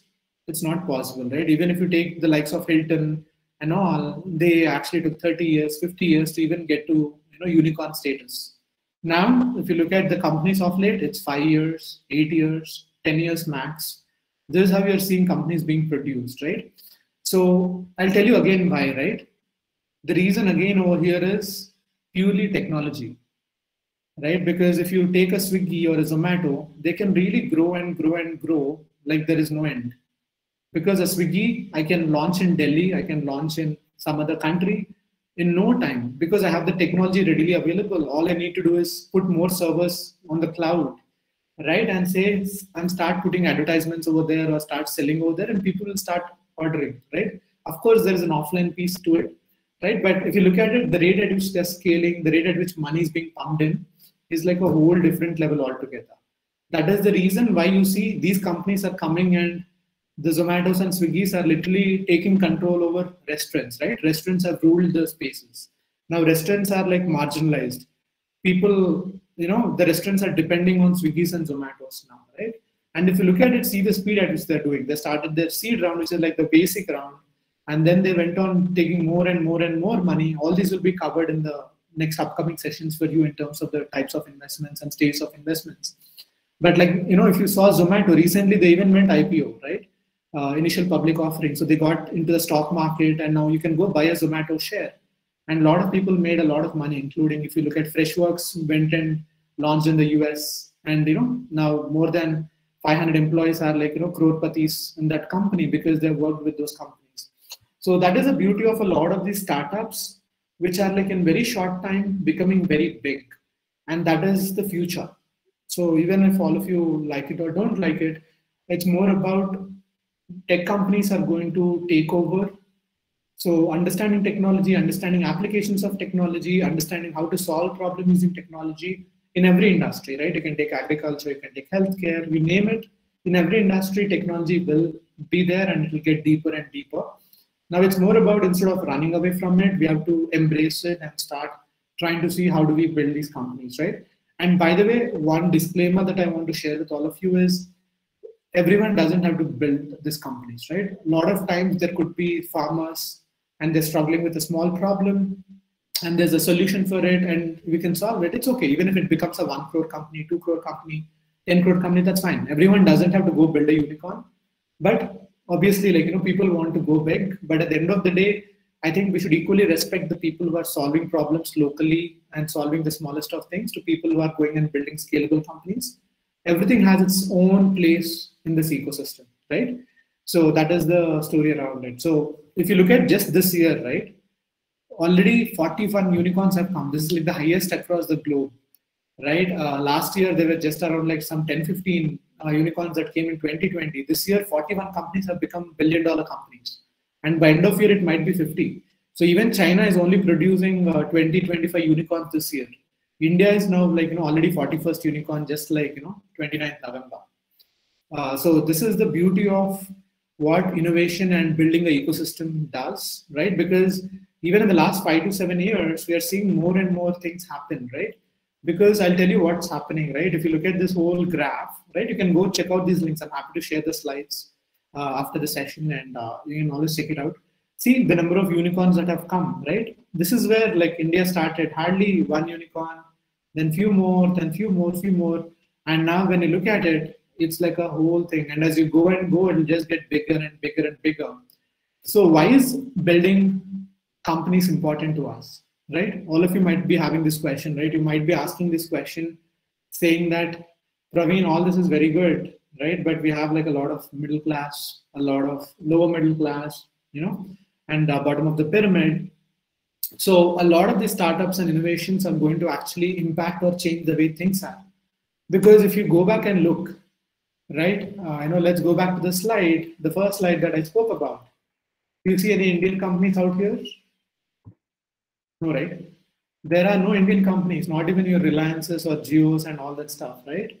Uh, so we are just starting to get there, and even everything that you use around you, right? Even your laptops, your phones, everything is either from China or from the US, right? Japan, right? So a lot of these global guys are the guys who are innovating. All of them are actually the guys who are actually very very advanced in terms of where they are compared to us and that is why it's very important for us to build a very powerful ecosystem that can really you know do a lot of wonderful things right? So that is why i'll tell you what's going on as well right? So now we are looking at the startup race right? Uh, so if you look at india right why should india innovate? Or why should india build so many incubators? Or why is there so much push from the government saying that uh, you know, let's build startups, or all of you have a mandate to help startups and build startups, right? So this is where, if you look at it, US, China, and all are like the biggest investors into Indian companies. So if you look at the Paytm, you look at Flipkart, even those are like heavily funded by global ones, right? but that's okay, right? Initially, somebody has to put in the money. Somebody has to trust our startups and put in the money. But as you go, India is moving from businesses to startups. Yes.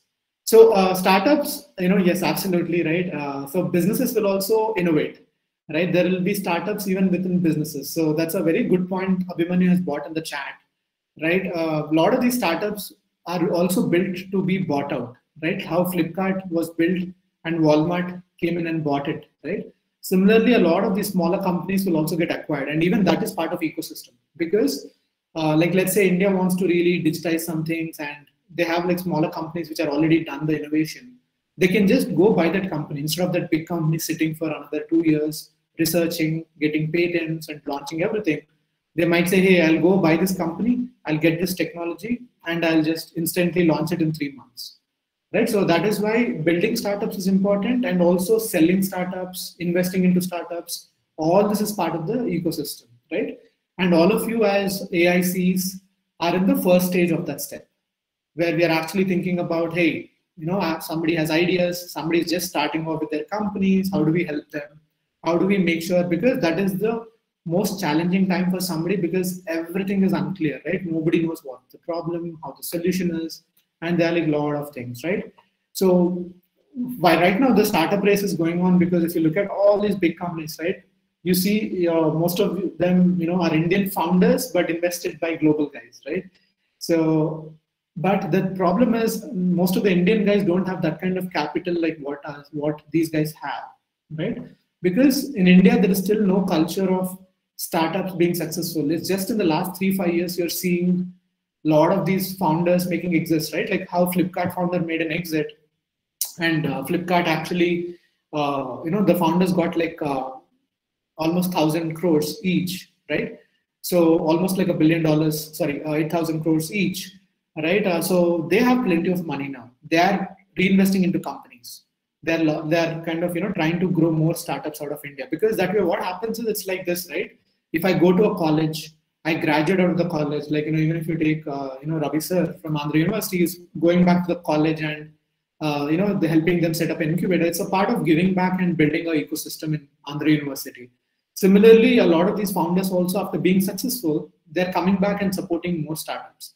Like if you look at just Flipkart, Flipkart employees have come out and started in the last 10 years. I think they have more than 500 to 1,000 startups just with Flipkart employees who came out and launched their own startup companies, right?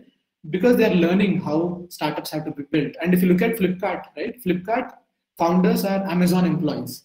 Previously, they used to work in Amazon and they learned how Amazon works. They came and launched that in India, right? So this is how learning happens through cycles, right? So if you look at India, right, we are still like very basic. We just are like only 45% penetration in digital right? Indian population is like 1.3 billion people, right? Or almost 1.4 billion this year.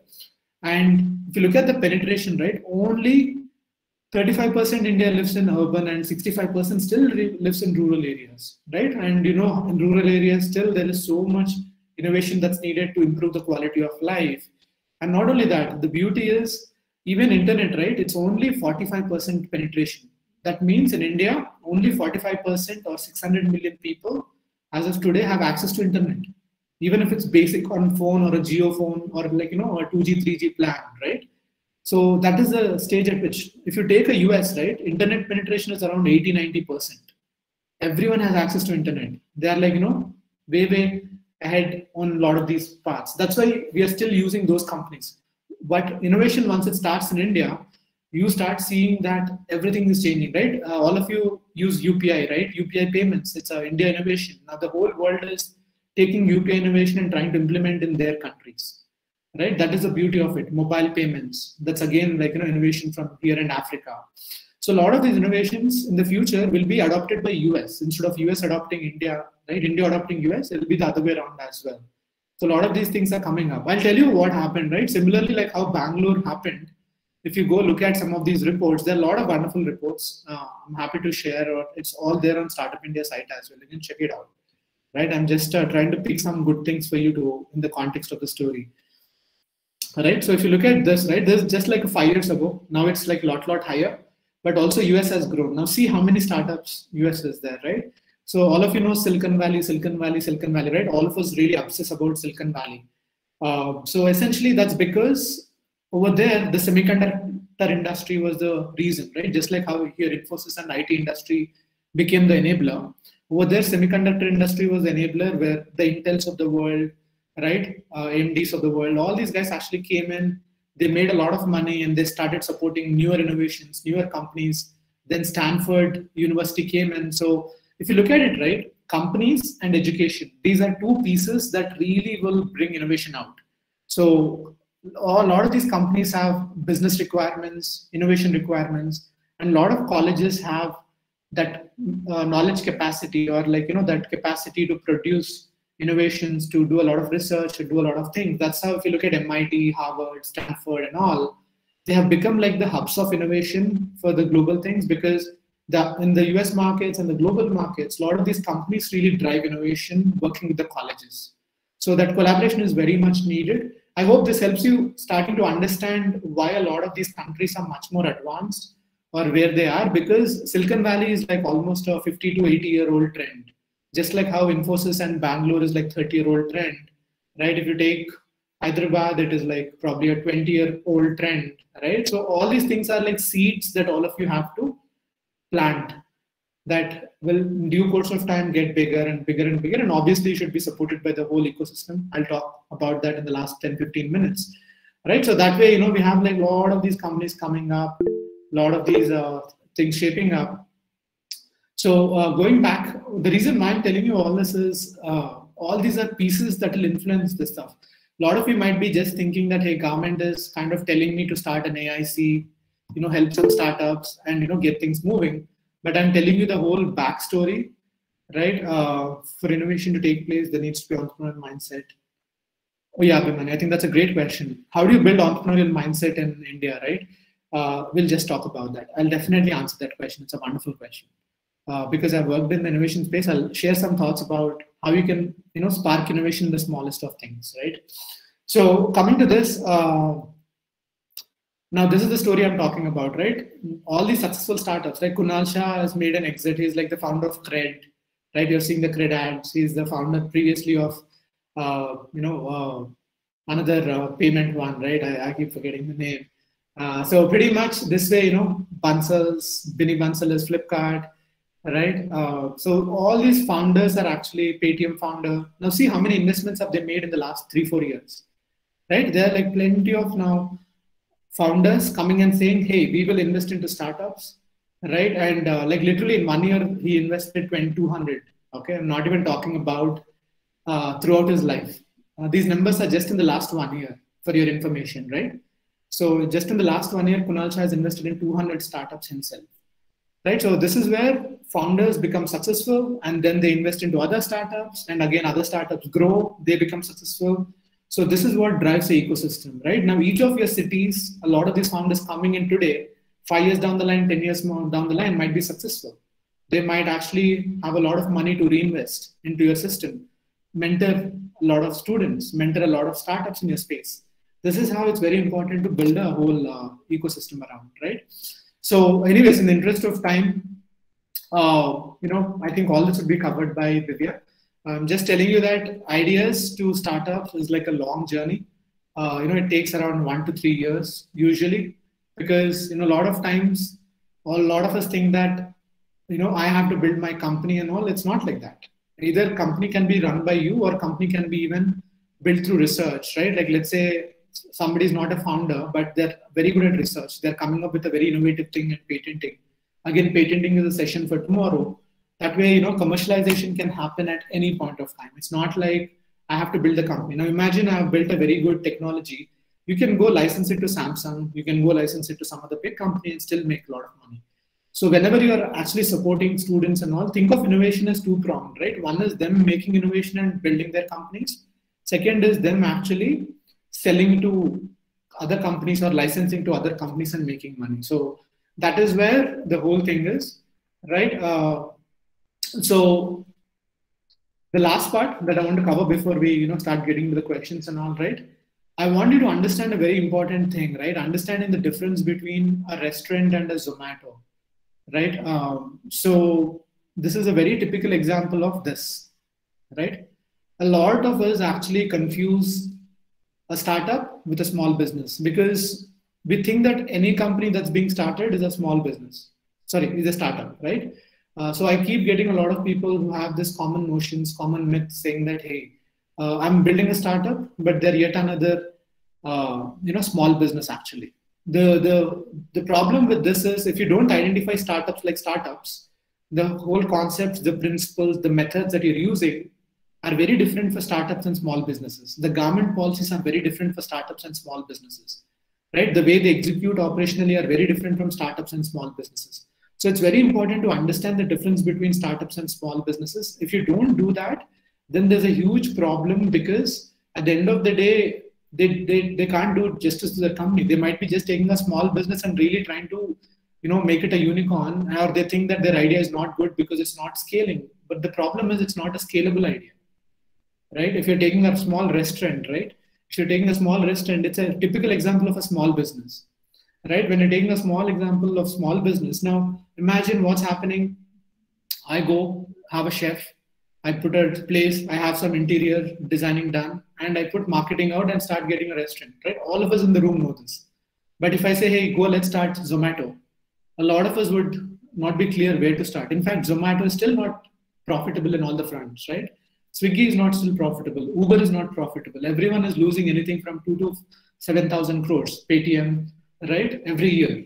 There's the kind of losses they're going through, but still they're putting in money because they're looking at that future where they'll start getting profitable and their losses get minimal and minimal every year as they go, right?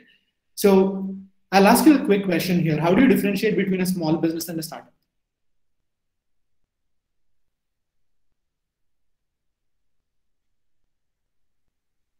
Yep, small business is a pre-tested idea and startup is a new thing. Absolutely, right?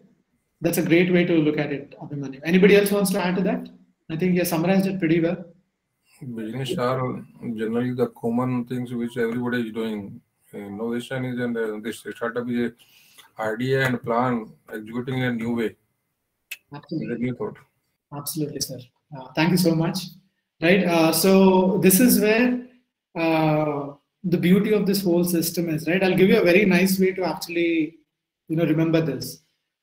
If I go and say how many restaurants are there in market, if there are lakhs and lakhs and lakhs and crores of restaurants, that means that it is a pre-tested, repeatable idea. That means that everyone in the market know how to do it. It's just about maybe some minor changes here and there or minor branding here and there. But if you go and say how many Zomatos are there in the market, how many Swiggies are there in the market, you can literally count them on your fingers, or you know, it'll probably be less than 50, right? Now, this is how you can say that something is new, something is being figured out, something is still not clear about what it is, right? I've put some slides, you can read it later.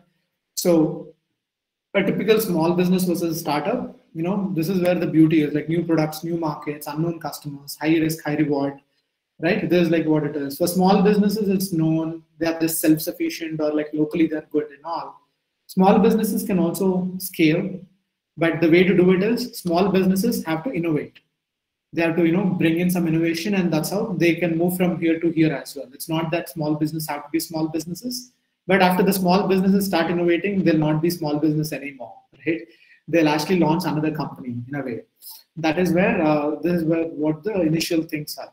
And even if you look at the ecosystem, right, the Startup India and everything is actually doing a lot around this because your traditional banks and all don't fund into small businesses, right? If you go and ask for a loan in SBI, they'll not give us money because they'll say, hey, you don't have, you know, any machinery, you don't have any plant, you don't have any assets to, you know, put in the bank to say that, you know, give me a loan on this. But if you look at this whole thing, now there's like funding and this whole landscape that's coming up. That is where you will in the upcoming sessions probably get around that, right? So, anyways, all these like slides that I put in, right? Now let's go to the important point of what all constitute a startup ecosystem, right? We were talking about ecosystem, ecosystem, ecosystem, right? And I'll definitely answer Abhimanyu sir's question as well on how to bring innovation as well, right? After we finish up this. So, uh, you know, every startup starts with like you know basic problem solution right they're trying to see i have a problem because like let's say i want to go from here to there and there is no easy way I'm trying to come up with a new solution that is solving. And once that problem and solution makes sense, then they get to product market fit. Because now if you take a Swiggy, Swiggy doesn't know whether people want an app to deliver food or not. They have been, you know, figuring out whether Swiggy is like useful to the market. If so, what is the model? What is the business model? How much money should they take a cut? They're still in the process of like, you know, figuring this out. And after that, you get to the scale, right? And this is where once you understand that everyone wants it now, you know, they know that people want Swiggy and now they're pushing it higher and higher and higher where you know it's like on a high scale model right? That is why everything is now becoming where pretty much it is like very beautifully done in a way where our companies are going global. And like you know if you look at ola right? Ola is now in uk oyo is now in uk a lot of these companies out of india are now going to the global markets and you know starting to run markets there right?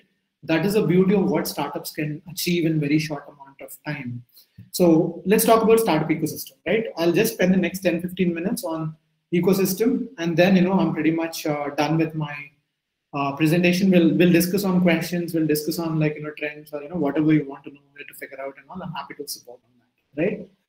So uh, coming to the startup ecosystem part, all of you might be thinking, how do we build India to be one of the most powerful spaces around you know innovation and startups, right? Because China, US, a lot of global guys are very aggressively competing or they're ahead of us. And now India is just picking up, but still India is still very basic.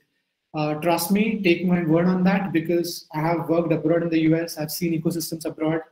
I've worked in the ecosystem innovation wings of companies and all that stuff. And when I see them and when I see India, right, India is still like way, way, way, way behind right? We have still a lot to do, and where we are is just like the initial starting steps. I would say probably like you know 10% of the 100% that we need to do, and uh, each of your support will become very instrumental in shaping up this ecosystem. So now let's talk about how do we build innovation, right?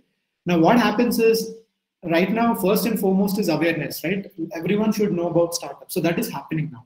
Previously, uh, you know, probably 10 years ago, even if you go and say startups, nobody around you will know startups right? Or hardly very few people will know about startups, right? Because innovation was not like a common thing. Startups were not like common thing. Even if somebody's building startup, everyone used to look at them saying that, hey, who is this odd person, right? What is he trying to do, right? Why is he not doing a regular job, right? But now when you look at it, everyone is saying, hey, go start companies, go launch companies because they're seeing success stories and all. So what happened in this process is basically all of these entities started coming together, right? So what are the different types of entities? Let's go one by one, right? First and foremost, the center of the world is the people who are starting companies, right? It could be students, it could be people working in companies, it could be entrepreneurs who are starting again, it could be people running traditional businesses who want to run innovation, right? It could be even like government, you know, putting out some stuff on innovation, uh, like problem statements where you know a lot of entrepreneurs are encouraged to do stuff. So the startup in, uh, ecosystem. Now let's say I'm a founder, like let's say take my own story, right? I'll, I'll give you my own example and I'll tell you how is this ecosystem supporting me or supporting a founder. Right now, let's say I come up with a nice idea and say, hey, I need help, right? First of all, I don't know, you know, how this idea works, how the uh, how to put a business together, you know, where to go get my company registration done, where to get legal stuff done, right? Where to get the support system, right? Initial guidance because I might be new to our industry. I might not know everything. I haven't built a company before, right? So this is where I start looking for help. When I start looking for help, right, there are these organizations that are like the first bunch of organizations that you can call as support organizations, right? This is where all of you would come into play, uh, right? This and this probably a combination of these two. So incubators and all come under support organizations so I'm in that initial stages. I just have an idea. I'm just working on my basic prototype and all. I come to an incubator. Let's say I come to Andhra University incubator and I say, hey, Ravi, I need help. I'm working on a startup idea. You know, can you guide me? Can you mentor me? X, Y, Z. Yeah. So pretty much uh, what an incubator does is, uh, again, somebody has to mute. Uh, Dr. Abhishek, can you mute yourself? Dr. Abhishek, can you please mute yourself? Okay, uh, so pretty much, uh, uh, yeah, I think he's not available. So pretty much uh, coming back to this, right? Uh, support our organizations, incubators. Now, incubator is like an incubator. Like think of like a baby, right? A small baby which is like just six to eight months, which is out of a mother's womb or you know the mother's womb, and they initially need ventilator support. They need incubation support, right?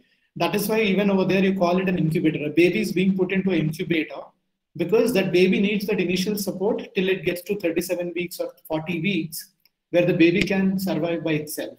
Similarly, a startup is like a baby, right?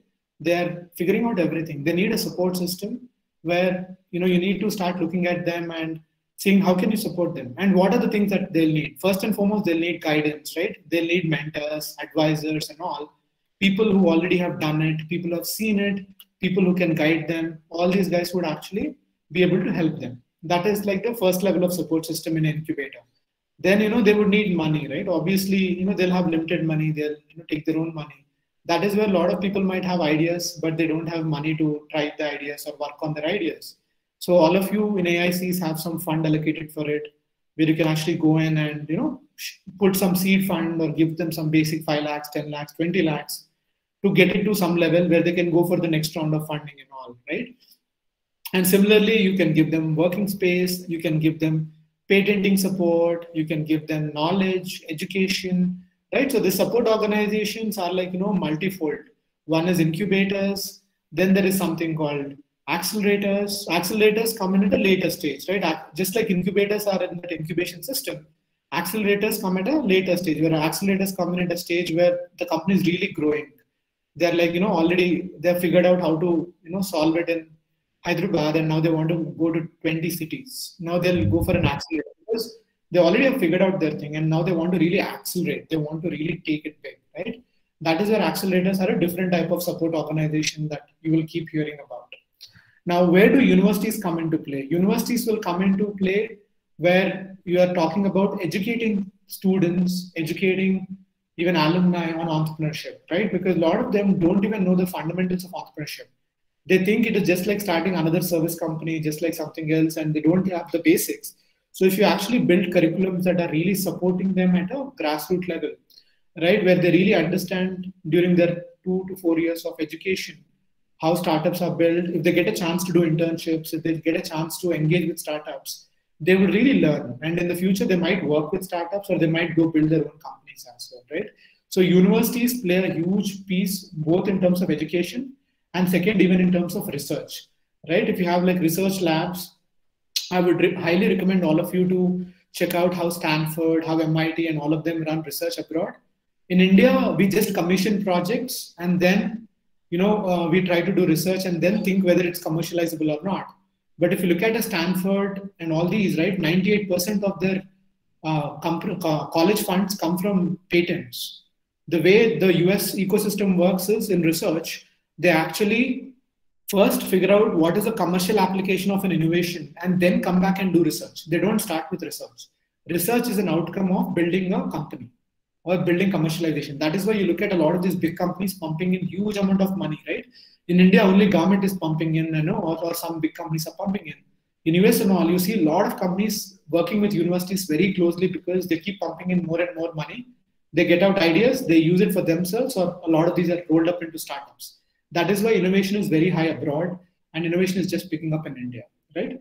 And also there are support organizations like TiE, you know, the partners of, you know, even this program. A lot of these independent organizations, networks, again, also, they do a lot of these same things like incubators and they work with incubators and collaboratively work with all of you. And then there are big companies, like I said, right? You know, all these big companies obviously have corporate accelerators. Not sure how many of you have actually uh, underst- uh, understood this term, but corporate incubators and corporate accelerators are like big companies all have a startup wing, including the likes of Jio, Microsoft, Google's, or even Indian companies, right? A lot of them are off late building something called corporate uh, startup, uh, you know, corporate uh, innovation, right? That is what they call, right? Or corporate, uh, uh, you know, systems inside where it's like a startup thing within a bigger company that is focusing on startups. So this team is always on the lookout for startups or helping startups and ideas. So that way, a lot of big companies are keeping in touch with startups, right? That's a big companies. And then you have all the investment things, right? From individual investors to, you know, founders who are becoming angel investors to, you know, uh, each of you funding it to, you know, big uh, venture capitalists, private equity firms. There are like, you know, investments available in many, many forms. So all of them are also important piece of this ecosystem. Then research organizations are also there. Like, you know, take all these research organizations, they have huge wealth of knowledge. Now, let's say a founder wants some research around healthcare. You should be able to connect them with the right research organization and get their, you know, pieces figured out much faster. So that way, when I was talking about it, right, it's a cyclical collaborative system that needs to be coming together. So as an incubator or an AIC, all of you should be decently connected with each of them. But like I said, think of it like it should be very founder focused or you know founder centric. It's not about what we want or not what government wants. I'll tell you even the problems, right? Um, been only talking the nice things. I'll, I'll probably even share in terms of how founders struggle with this whole ecosystem as well, because all of you might be thinking that I'm doing a great job of setting up an AIC and helping people.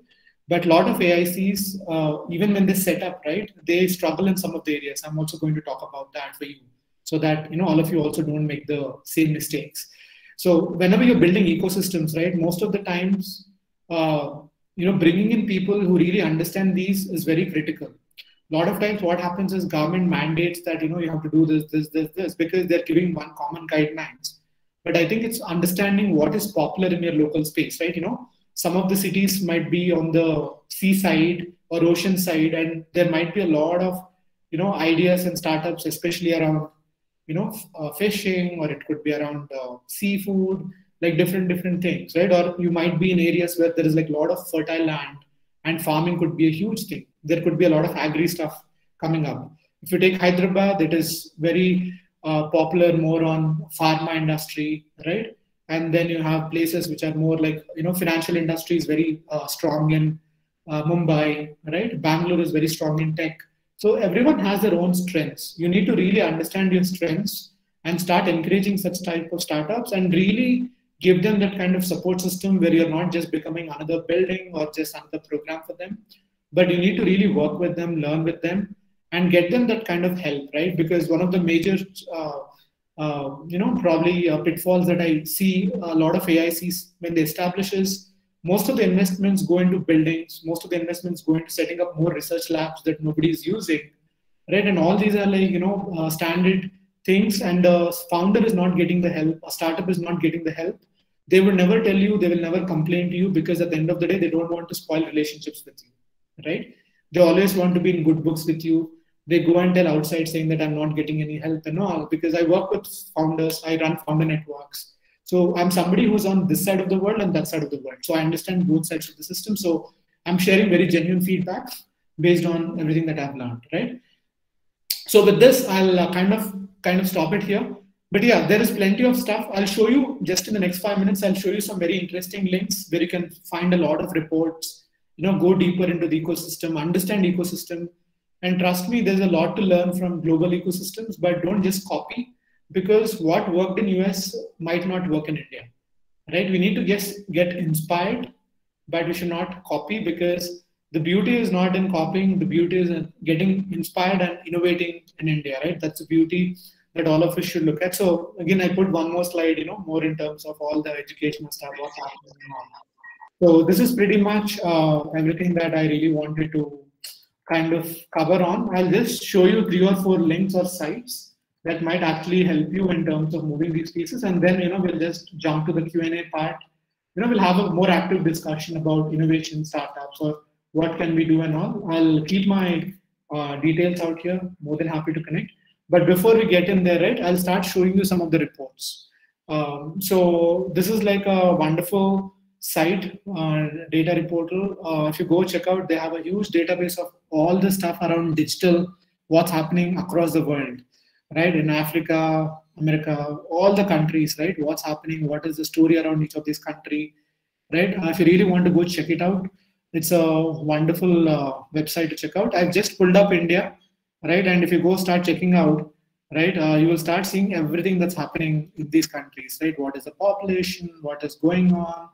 Right? Uh, what is the penetration, right? So this way, once you start understanding data, right, you start understanding what are the trends coming up, what should you focus on, what what are the next big ideas, right? So all of them are opportunities, right? If people are spending more time on social media, then there's a lot more opportunity to sell on social media.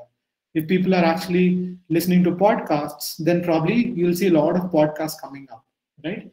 So all of these are like, you know, I'm not going through all this. I'll share all these links with you. But, you know, there's one side that I want to share, right? The second uh, very good side that a lot of people don't fully explore is the Startup India site itself, right? So there are plenty of stuff. So uh, the the site is not marketed well or like you know hasn't been much in use in general, right? But when you start looking at it, they're actually compiling a lot of resources, right? You have a lot of data, a lot of market research reports are available for free if you go and check out, right? Uh, so all these things are something that will really give you a sense of understanding the ecosystem, right? All of you need to really understand the ecosystem before you can help the ecosystem. If you don't understand the ecosystem, if you don't understand startups deep down, you'll only be helping them at a peripheral level, right? Which is like uh, putting a high level makeup on something. It's not like, you know, going deeper into it. So you can go check out the ecosystem reports, investment report, industry-wise reports, you know, data reports, finance reports, and even when you Google it out, you will find plenty of reports, right? And there are a lot of good websites like Your Story, uh, Inc42, and all this, which are focusing on startups, cover a lot of stuff. Um, you know, you can see all the government schemes. I think all of you might already be very well aware of all this, you know, having got the AIC in place. So there's so many government schemes, uh, schemes that most of the founders don't even know. If you go to a founder and say, hey, what are the government policies in your state? Most of them will not know. What are the benefits you can get? Most of them will not know. Have you registered with Startup India? Most of them will not have done right? So this is where a lot of these basics are some things that you can look at. And also Startup India is collaborating with a lot of global organizations to run competitions, you know, market access and all these, right? How to take your company globally or solve your problem in a different country. So there's a lot of wealth of knowledge that I would definitely recommend all of you checking out, right? And uh, if you're looking at reports and all, I shared about that in Startup India, or you can even you can look at, you know, Startup India has built very good reports on achievements and all that stuff. So keeping aside the pros and cons and like you know opinions of people, you can always look at what's happening in the landscape, right? So there's plenty of information again over here uh, in terms of metrics. What are the government policies? What are they trying to do? If you start understanding this, right, you can actually start helping your local ecosystem really well. Or you can even recommend a lot of good changes to the central government or you know to the DP, uh, you know the central uh, bodies, right? uh, DIPPT and all these things, where you are actually telling them, saying that hey, these are some of the suggestions that will really help us, you know, build in India, make in India, grow in India, right? These are the changes because it's a collaboration with the government. So all of you become a very important catalyst in this process, right?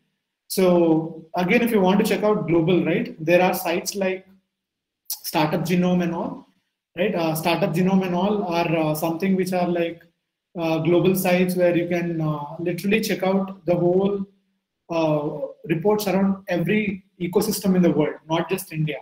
Okay, you can check out country by country by country ecosystem. Okay, like let's say you want to check out Africa, you want to check Singapore, you want to check Malaysia. Doesn't matter. You can just go in, you can find an ecosystem. See, they have built reports for all these places. So you can check out startupgenome.com. So every year they launch updated reports. Okay, so that way uh, you can get in touch, you can work with them, or you know you can launch your own stuff. I've just pulled an India report for all of your knowledge, right? So I'm just putting uh, ecosystem report and uh, uh, so I'm just showing you the global report actually, not the India report. Um, so here, you know, you have all these data. See this: what's happening in Asia, what's happening in Africa, what's happening in US, Latin America, right? What are the frameworks? What are the methodologies? All these are things that you can actually absorb. You know, by region they have covered right? Uh, you know, off late, like uh, you know, Telangana has been really picking up in the last uh, five years, ten years. So you know, they are starting to put all these. You know, they're starting to get the visibility, right? Similarly, a lot of other cities can also get there, right, uh, by putting a lot of these things. So I would highly recommend reading this report. It's free. You don't have to pay anything. Everything that I'm showing you is free. You don't have to pay one single rupee anywhere, right? Uh, so you have to. I'm just telling you this wealth of knowledge available on internet. All you need to do is just go and browse and browse and browse and read, right? You'll start seeing which countries are really doing well, why are they doing well, right? Uh, where do they stand? How is innovation working in those countries, right? Uh, you'll get all the market statistics. You will find what are the best practices that they do, a lot of these things. So this way, don't think just local, also think global in terms of how everyone is shaping up, and that whole world will start impacting India, and India will start impacting the whole world. So there's another uh, good place that uh, you know I would recommend. And uh, another uh, good suggestion I have is a lot of these governments in each of these countries also launch their own report, just like India launched a Startup India report. I'm just showing an example of Singapore, right? Uh, Singapore wants to attract more people to come to Singapore. Africa wants to attract more people to come to Africa. Europe wants to attract more people to come to Europe, right? So a lot of these policies, a lot of these research, everything, the local support system, you know, which all are the places to go, who to get in touch with, you know, what are the reasons why somebody should go to Singapore. Everyone is putting all this. So if you're really aware, right, the kind of programs you can do to support your startups, the kind of collaborations you can do to support the startups is going to be like very, very uh, beneficial for all of them in the process, right? So yeah, with that, I'll uh, kind of uh, stop it. I'm sure it's already a lot of information overload, but uh, I really wanted to do it uh, in terms of helping you understand the broader bunch of things and see those digital trends, like how India is shaping up. This is just India trends. Everything is going crazy, up and up and up. And next five years, 10 years, you're going to literally see there's going to be a software for everything. You'll start seeing automation picking up way beyond you ever expo- uh, thought of. You'll see solar, electric picking up beyond your imagination, right? You'll see virtual reality, artificial reality. Facebook has launched Meta. You'll see machine learning, artificial intelligence, blockchain technologies, cryptocurrencies, everything starting to take over. So we are at a stage where we can't really complain that I know this, I don't know this, I want to read about this, I don't want to read about this. It's more about are you up with the trend or you're not? If you're not, you are going to die. If you're up with the trend, you're probably going to go places with it, right? So there's not like somebody is safe or somebody is not safe. Everyone is at risk now. So I would highly recommend all of you to actually get into this space and start looking at it. And Google is your best friend, and there's plenty of information out on the internet, right? So with that, I would kind of uh, close on this. I will just uh, start with the Q&A, but uh, I know also sharing my contact details uh, just in case, uh, sorry. I'm sharing my contact details just for uh, your reference, right? Uh, you can uh, get in touch with me on LinkedIn or uh, you know on WhatsApp, on this phone, or like there's my number for both. Or there's my email. It's hello at pdorna.com. Uh, it's just uh, Praveen Dorna in a shorter form, p d o r n a dot com. So you can even drop a mail, and I'm happy to respond. That's more of my personal mail ID. Uh, and then I have my company mail ID all. So, but uh, this is a great place to reach out to me one to one if you're reaching out, or LinkedIn. Uh, and these numbers are great places to be. Now, uh, I think uh, let's uh, actually start going and discussing. Yeah, it's not Drona. A lot of people know Dronacharya, so they associate with DRONA. it's not DRONA, it's DORNA, right? so it's Praveen Dorna. So that's the thing like that. So I'll uh, take up Abhimanyu's questions to start with, right, Abhimanyu sir? And uh, then uh, rest of you, any other questions you have, you know, we have the next 15, 20 minutes to actually go through the questions, right? Uh, so the first question is, uh, how does innovation uh, spring up, right?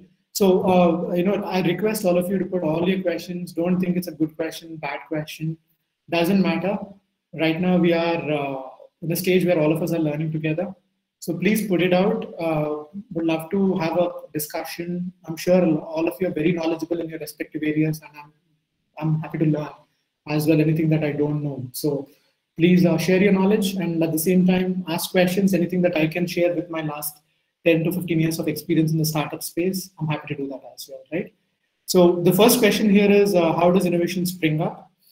Um, so innovation actually uh, comes up a lot with this whole ecosystem coming together. But you might ask a small question saying that how do I bring innovation in my own college, right? A lot of you might have uh, the standard question, right?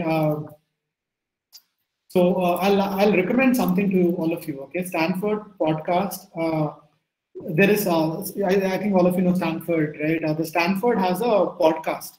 if needed, I'll actually pick up the link and also share. You can go to the Stanford podcast eCorner right? Uh, and actually start looking at uh, one podcast especially. So I'll tell you an experiment done by a teacher, right? Again, in Stanford University, one of the professor, what they did was they said, sorry, what they said was, uh,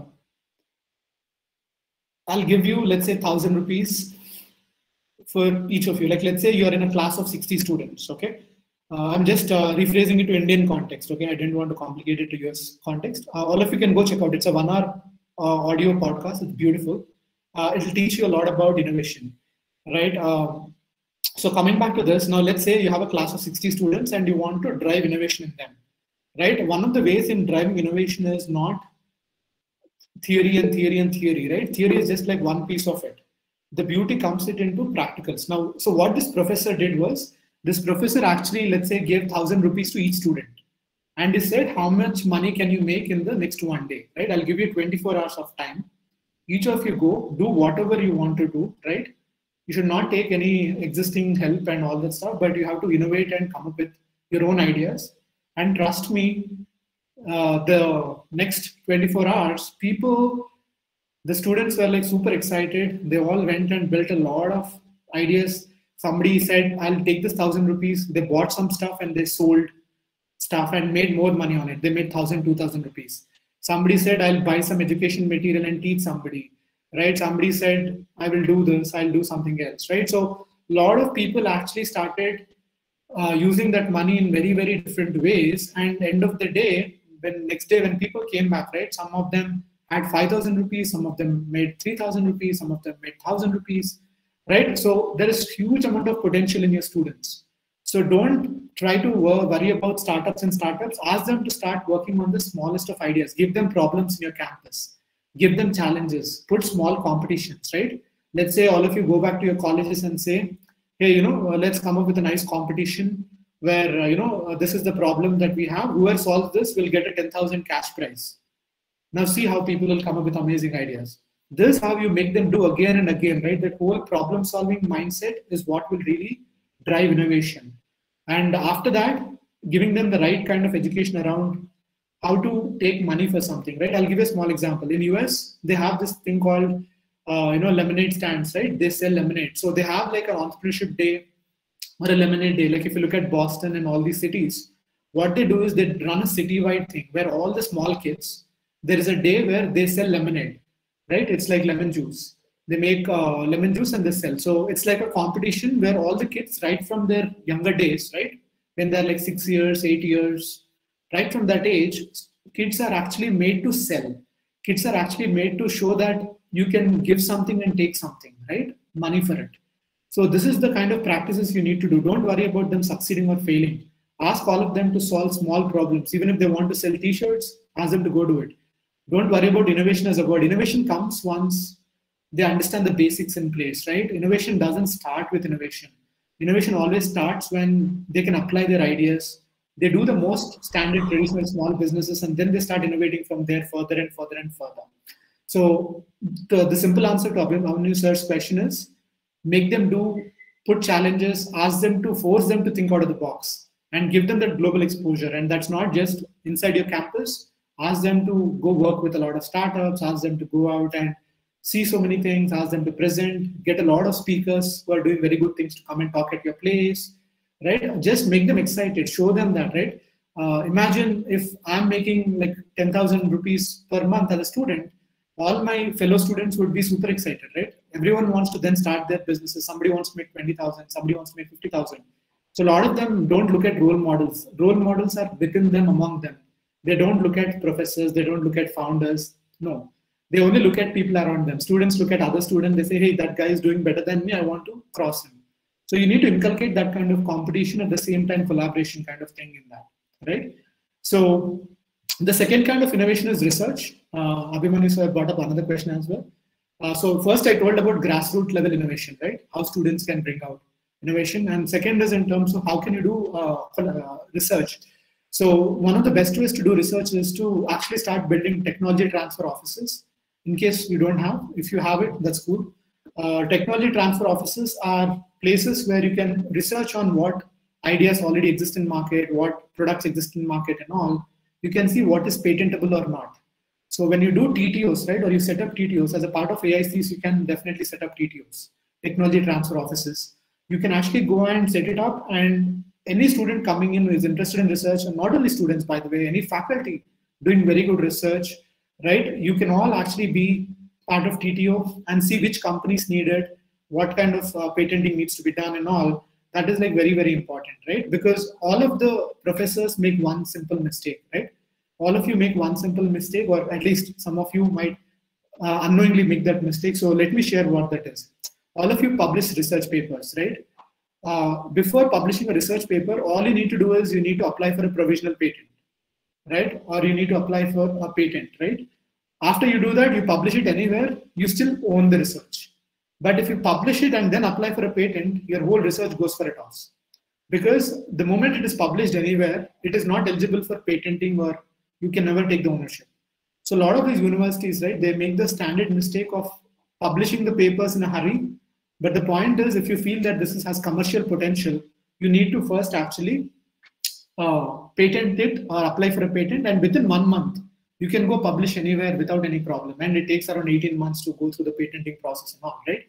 So that is where I would say that do that. And the second thing, what I would recommend is uh, work with companies work with most of these startups, new age companies, and try to see how do we actually go about collaborating, right? Now, let's say you go and ask a, refrigeration and air conditioning company saying that, hey, what is your problem?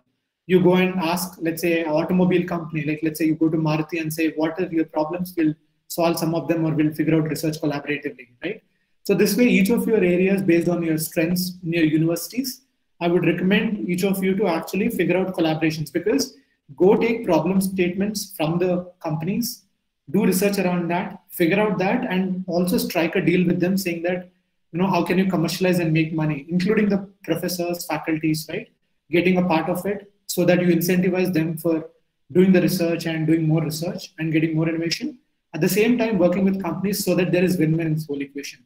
So that way you don't have to depend a lot on government funds beyond a point, right? Even the government is giving you funds for five years, 10 years, because they want you to figure out a much more scalable system uh, that is beyond just any basic stuff. And this is where you can you should start thinking like a business, right? It's not like thinking like a non-profit doing charity. All of you should also do a lot of support, but at the same time, you are a startup in yourself who is trying to figure out a lot of things, right? So with that, I hope Abhimanyu sir, uh, you got the answers to your questions. Um, uh, yeah, I'll uh, move on to the Srihari sir's question next, and then I'll get to the other questions right? Uh, Srihari sir said, uh, could you provide some thought process to develop curriculum for entrepreneurship in our colleges? Uh, right? Uh, I think that's a great question, sir. Uh, so, uh, first of all, a lot of them might be saying that we will do one workshop, we'll do one month program. Nothing happens in one day, one month, right? Because even your standard subjects are taught for so long, they go through a four-year course. So there is so much rigor that needs to shaping people's mindset and the thinking, right? So whenever we are talking about curriculums and all, what I would recommend is there are already wonderful courses, right? Uh, out here, like you know, you can check out Coursera. If you want, I'll just show you, right? I'll show you some wonderful curriculum. So one of the things what you can do is you can do a combination of practical plus theoretical, right? You need to put a combination. It can't be pure theory and people go through you know a lot of theory. A lot of courses that I have attended or that I teach myself as well it is a combination of people working on their ideas. It is not even like people just sitting and listening in my class. The way I design curriculums is I everyone has to come up with an idea. They have to work in teams. They have to figure out. They have to fail. I literally make them go through that life cycle. Right? When they go through that life cycle, what happens is during that period, give them the mentorship, give them that mindset support, give them the resources they need. You know, make them feel comfortable that failure is part of the game so I'll show you some of these things. So if you're looking at curriculums and all, there are already a lot of wonderful uh, curriculums out there. But further, if you want to check out, uh, so internet has enough information on that, right? Uh, but I would also tell you curriculums at a much broader level. But you can go to Coursera, you can go to edX, right? All of you might be super aware of all this. Go check out entrepreneurship curriculums of a lot of these global universities, right? They have built a very good uh, curriculum to actually deliver. And all of them are like very strong in uh, delivering entrepreneurship education. So you can always go check out or in fact each of you can also take it to just experience what entrepreneurship is about so that you can equip yourself better to help students and all right? Uh, so if you just go type for entrepreneurship you'll see plenty of courses out here on entrepreneurship and businesses right? So that is like one place the second thing what i would recommend is focus heavily on early stage okay uh, yeah here if you see right uh, you can look at businesses and you'll have entrepreneurship, right? Yeah, I think because I'm sharing the screen and all, it's a bit slow. But otherwise, you know, you can just go check out, uh, you know, businesses and you can look at entrepreneurship will also be one of the vertical coming in or you can just search invest right uh, there are wonderful courses by the way um, so yeah see UPenn actually has a course on entrepreneurship so similarly there are plenty of courses on entrepreneurship just see how you can take your idea to a business how to scale it how to grow it so a lot of them have built like wonderful curriculums that you can pick up from right so they already say you know how to develop an uh, opportunity how to come up with an idea how to look at growth how to finance your idea, how to patent. Like there are plenty. This is just one example, right? You can take curriculum support from a lot of these things. Or uh, by the way, another good thing that I want to tell you is a lot of these universities will also be open for collaboration. Okay, so you can always you know build co-branded programs, right? Uh, like how Innovate has uh, uh the Tirupati-based accelerator. They have collaborated with UT Austin, right? So that way, each of you can actually collaborate with a lot of global ones in building that curriculum support. Uh, but just think through the whole life cycle when you're building a curriculum, right? Break it down into one year, if you ask me, right? Have initial first three months where you're focusing on how to come up with ideas because a lot of them don't even know how to do ideation. You have a session on ideation later today, but a lot of them don't know how to go about an idea, how to see a problem, how to solve a problem, right? Then help them figure out how to build their basic version, right? What skills do they need? How do they register? How do they build a business model, right? And all these things come into play, right? And then you know you can tell them how to sell that, right? So you don't even have to tell them how to how to scale a company and all, right? That is not at all needed in your first year. Tell them how to successfully come from an idea to building something small that they can sell, right? And they're making money out of it. That's like a huge learning experience. In the process, they learn everything, right? In terms of how to come up with ideas, who to talk to, how to get mentoring, how to get money, how to sell something, how to build marketing, how to do sales. There's so many skills involved in just taking an idea from an idea to a small product. And if you want to make it very exciting, you can put a competition, right? Where you can incentivize them or you can give them visibility, money, or funding support, XYZ, where a lot of these will super get super excited. And don't worry about solving it for everyone start small, show examples, show results, and then other students will start picking it up. So that is how I would recommend, uh, you know, designing your curriculums. But like I said, right, uh, just like each of you might be extremely good at your subjects, uh, find people who are extremely good at entrepreneurship and work with them in building curriculums rather than, uh, you know, coming up uh, with everything because it takes significant amount of time to also build the way it has to be delivered because a lot of, uh, you know, academia might not have that depth of uh, knowledge. That is where you know your support organizations, mentors, founders, you know other networks uh, can be great places to collaborate in designing the right curriculum and delivering the right curriculum. So I hope that answers your question, uh, Srihari sir. And uh, yeah, thank you, sir. Uh, coming to the next one, uh, Abhimanyu sir has asked for innovation to take place, there needs to be an entrepreneurial mindset. Oh yeah, yeah, I think that's a great question. Sorry, I missed this. So uh, yeah, it all starts from there, right? Uh, at the end of the day, it's all about mindset. You know, a person can get up at five o'clock in the morning and study, or a person can sleep till eight o'clock. It's a mindset. Uh, so similarly, how do we actually encourage all of them to actually change the mindset? Is one is definitely showing them examples of people around or showing how successful people have done it. But the real mindset change comes when they have a need right? Uh, like, you know, for example, if you look at somebody who's like a daily wage laborer, right, or daily wage worker, they have a need. So their mindset is like they have to do it. Somebody who is luxurious, they are like, it's okay, I'll sleep today, I'll do it tomorrow, I'll do it day after tomorrow. Right? A lot of times you're always like in that mindset where it doesn't happen.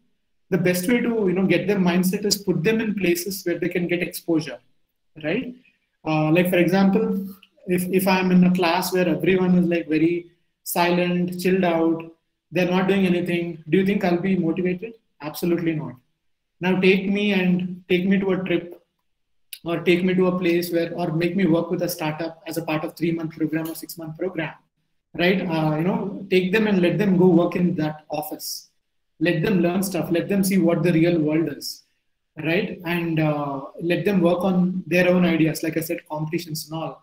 Only by doing right the mindset changes because even entrepreneurship is a discovery process. Everyone is not an entrepreneur, right? All of us really push it and say that everyone is an entrepreneur, everyone is a startup. It, it doesn't work that way because a lot of people enjoy different things. It's, it's always about telling them that this is what entrepreneurship is, entrepreneurial mindset is. But at the end of the day, people implementing in their own lives and careers is what it is, right? So we need to just get them this whole entrepreneurial mindset that we're talking again and again is about seeing a problem, solving a problem, and doing whatever it takes. These are the three words, right? Seeing a problem, solving a problem, and doing whatever it takes to solve the problem. This is what is entrepreneurial mindset. If we can actually drive this point into their brains, right, that can work. But that will only work when you make them solve problems. As of today, none of the students are solving problems. Make them solve problems around your campus. Make them solve problems around your local areas. Make them solve problems around what they see, what they feel excited about make them do again and again. Trust me, in one year, if you don't see a good bunch of people with better entrepreneurial mindset, I can challenge that. Right? It's all about the rigor of doing, doing, doing, and getting exposure, and also giving them exposure to the right bunch of people, right bunch of places, and all. Because you can't be in the remotest of places and hope that magic will happen there, right? A lot of times people go to places to experience and come back, right? Like I went to US, studied over there, worked abroad, did set of things, and I'm coming back and implementing a lot of things here Similarly, you need to give that kind of support in getting there and do that.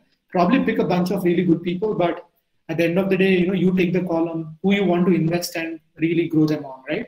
So that is uh, where uh, I would recommend. I hope that answers your question, Abhimanyu. Yeah. Yeah. So yeah. Uh, any more questions? I think uh, we're in the last three four minutes, but I hope uh, I was really trying to be quick as well because it's a complicated topic explaining the whole ecosystem because i'm not just talking about an idea or about a startup i'm talking about how this whole world comes together in building a startup right i hope uh, it has done justice to uh, most of you guys in terms of at least getting a sense on why it is very important right otherwise india will be marginalized by all the rest of the world yeah uh, abhimanyu sir go ahead sir How do you see the boom uh, of internet in India and its effect on startup boom? Uh, internet, like I said, is just very minimal penetration, right? Uh, so still we have 45%. Just with 45%, you're seeing this kind of numbers. Imagine this doubles and you see like lakhs and lakhs of startups coming up. India is going to blow up, right? Or be like a power center in itself, right? So it is just the starting. Trust me, in the next five to 10 years, you'll see India really going big, even if the ecosystem is supporting or not. There are so many founders, investors who are invested into this kind of ecosystem where they want to make money, they want to solve problems that you will see startups coming irrespective of who are stopping it, stuff will happen, right? So it is just starting, uh, be part of it. And I think it's an exciting time, right? Uh, and any scope for Indian language in startups, uh, Ramesh sir has asked a wonderful question, actually, right? You know, a lot of global companies will never focus on Indian languages, right? Uh, the max Google's, Microsoft's will do, but rest of them will never do. Uh, so that is why you see vernacular languages are like a huge bunch of companies coming up, right? A lot of these are Pratilipi or there are other ones where you can write in Telugu, write in Hindi, write in Kannada, right? There are so many places where you can actually uh, do it. So vernacular is a huge, huge market anything that can be served on vernacular can be huge. But like I said, at the end of the day, look for that problem and solution. And is there a business model to it?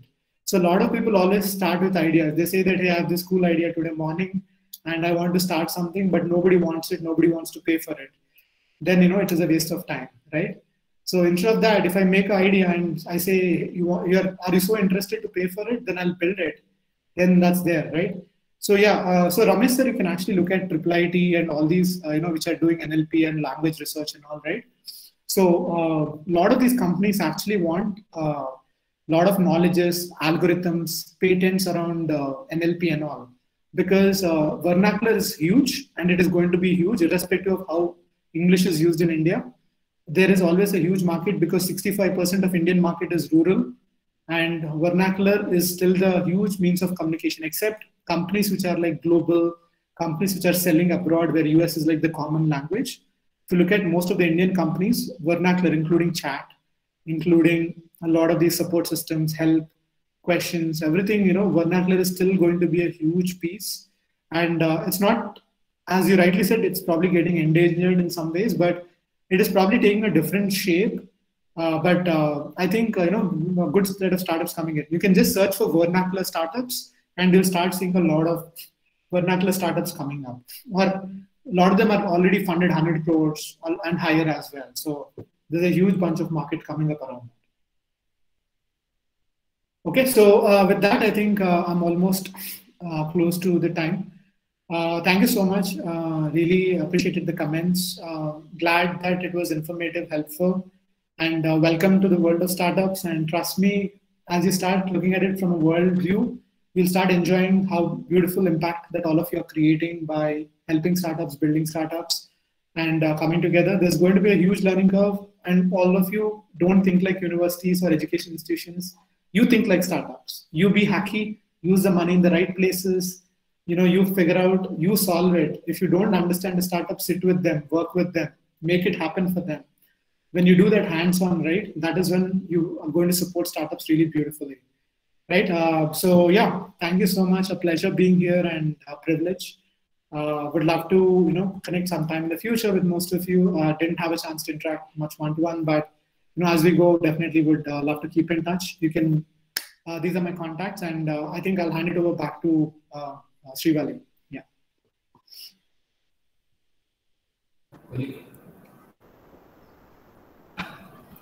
Thank you for the valuable information, sir. That was a great start for this EDP. It is an immense pleasure to have you here on this EDP. I request all the participants to join the next session at 11.45. Thank you. Okay, thank you and uh, have a good day. I'll see you.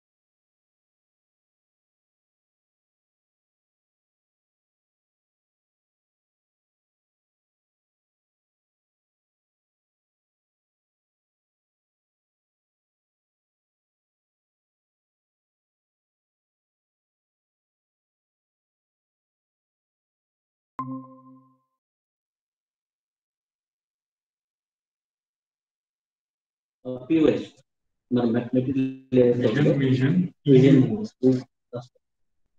website has to be incorporated in vision meeting POS.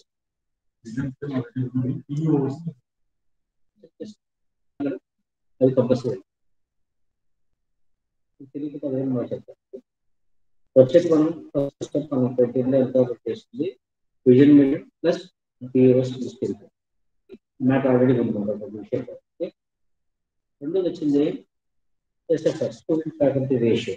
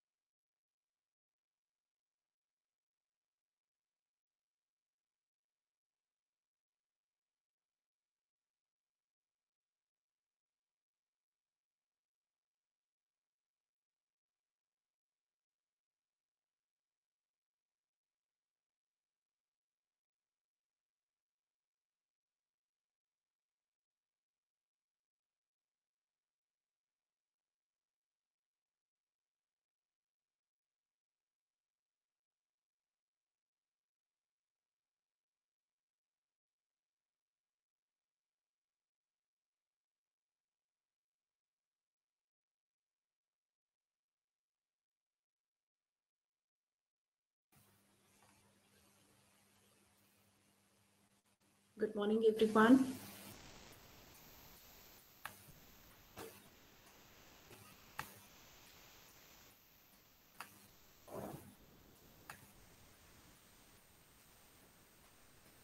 Uh, Ravi, are we good to start?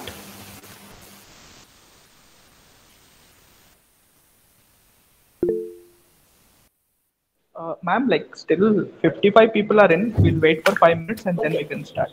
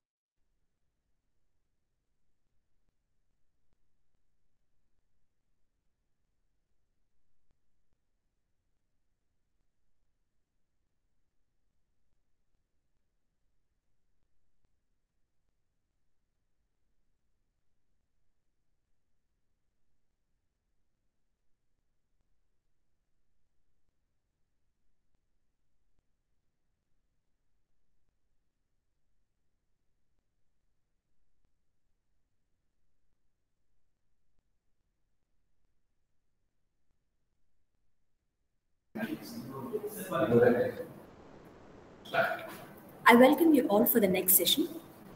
The second session is on startups in colleges. The speaker for this session is Dr. Divya Rajput. Dr. Divya Rajput is a highly resourceful, motivated, and enthusiastic professional with 21 years of experience in fostering innovation, managing technical operations, and as a startup business head.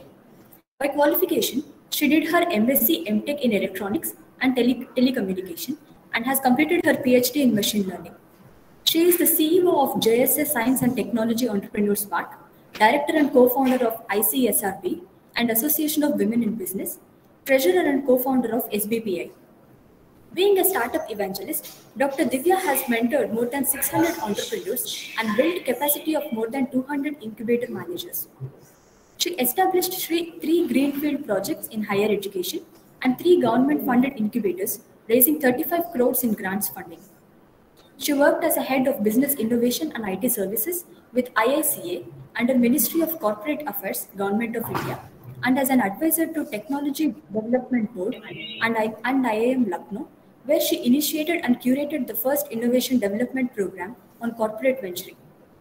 Dr. Divya was awarded the Youth Excellence Award by the Russian Cultural Center, Women Excellence Award by CMO Council, Singapore, and the American Center, New Delhi, and was nominated for an award at Women Economic Forum in 2020.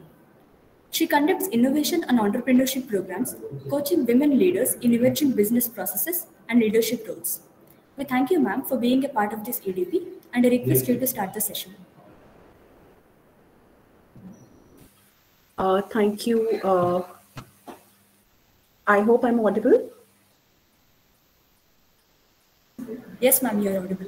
Perfect, perfect. Thank you so much. So, you know, uh, looks like some problem with my video right now. So the camera is not, uh, the camera doesn't want me to see you people or uh, other way around, maybe. You know, the, uh, the camera doesn't want you all to see me, but uh, sure, some other day maybe. Uh, so thank you for the introduction. Thank you for having me over. it's always, you know, great to interact with institutional builders and you know, when I say that, I mean uh, all of you. Uh, right. So uh, I hope uh, the screen is also visible to everyone. Yes, it is visible. Okay, but can you see the presentation because I can't see it?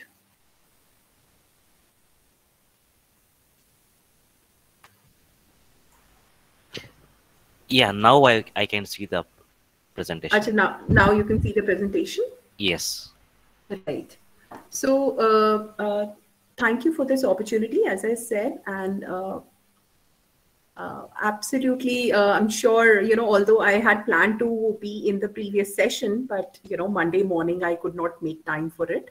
So, uh, and then, you know, as you would all know, incubators basically run on lean staff you know, because we always promote our entrepreneurs to be lean. So we ourselves run, run on lean teams, but very high potential teams, you know.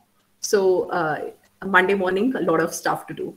But uh, I'm sure uh, Praveen took you around, uh, you know, as to how the startup ecosystem is evolving and how it is, you know, increasingly becoming important uh, to embrace uh, entrepreneurship and startup ecosystem, not just outside, uh, you know, in corporate and academia, uh, you know, in corporate and industries, or even with MSMEs, but also at the academic institutions as well.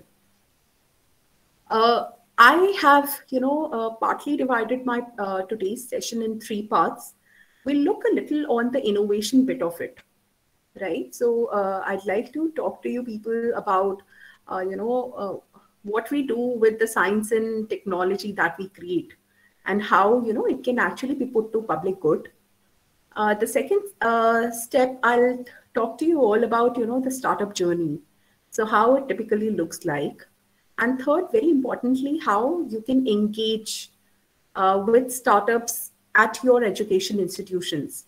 So you know, depending on if you have a government grant or no government grant, but if you have you know uh, sometimes, uh, like uh, uh, during my introduction, they said that I will, I've been the advisor to IIM Lucknow. So, you know, IIM Lucknow actually constituted their own corpus uh, to start engaging with, with startups, right? So there could also be possibility that, you know, your management committee may realize that incubation is a great thing to be on campus. so they may invest in you know developing startups from your students or even from outside. So uh, uh, to begin with innovation you know and it happens to be my favorite topic uh, i think throughout because not only i come from a tech background but also uh, you know uh, worked with the best of the leaders and you know people who really embrace change and innovation. So uh, as we all are aware, and I know from you know the participants' profile that a couple of you come from uh, technology background and some of you come from arts and commerce background, but you also some of you also come from the management background. So you would agree with me that you know any any novel or innovative, you know, uh, or you know a solution which has never been there. So it could be you know there are various forms. We'll come to that but then, you know, innovation is not just about technology. It can be product innovation or it can be even process innovation, right? And it mostly uh, involves research. It involves, you know, developing organizational uh, capabilities. It also uh, involves uh, financial and commercial activities. But very importantly, there's mostly a new technology which is involved, right? Uh, it's revolutionary. It's iterative. So you know, uh, it undergoes a lot of lot of iterations. So you mostly, you know, you look at a lot of times changing, working on the technology, taking, uh, you know, customer feedback, improving upon the product, and then maybe, you know, come out with an interesting uh, uh, innovation. And very importantly, innovation is a very serious effort. So, you know, uh, uh, uh, and you would also realize that, you know, despite being employees, uh, a lot of employees are actually innovative at work as well. So, you know, you necessarily need not be a startup only to embrace innovation. You can be very innovative. And, you know, that's what most of the researchers are. They're very innovative. They look out for a problem, a unique problem, and then they try to create solutions around it. Let's look at the classification of innovations. So, uh, you know, uh, if we go by the degree of novelty, so innovation could be incremental in nature, which means that you do better uh, what we already do, right? Uh, it can also be systemic. So, you know, could be new for the company or it could be radical, you know, so something we also call as disruptive, which is new for the world. Uh, innovations also happen at the component level. So, you know, for example, Bluetooth is a great innovation. So, you know, it, it finds its adoption across devices, right? Or it could be systemic innovation, which means, you know, new series of cars, planes, computers, TV, MP3. Uh, then, you know, we've all seen how uh, we've transitioned from one type of industrial revolution to the other type of industrial revolution right? So steam engine or ICT or biotech or nanotech. So, you know, all these are part of, you know, various classes of innovation. Now comes the favorite part. So this happens to be somehow my favorite part because, you know, uh, while science converts money into knowledge, and you know that's what we all get you know we get we used to get a lot of grants from ugc to you know uh, uh, apply our sciences, you know, to to convert it to knowledge, which we used to share by way of you know publications or by by way of patents or by way of you know protecting our IP. And then comes the technology commercialization, which converts knowledge back into money to bring value to the society. So, you know, uh, while uh, uh, till the previous decade, I would say there was a lot of focus on, you know, generating knowledge. But now there is a lot of focus on technology commercialization. And that is how, you know, it's important for all of us uh, to realize and understand that, you know, we have to, you know, convert the same knowledge we've acquired over years back into money and at the same time bring value to the society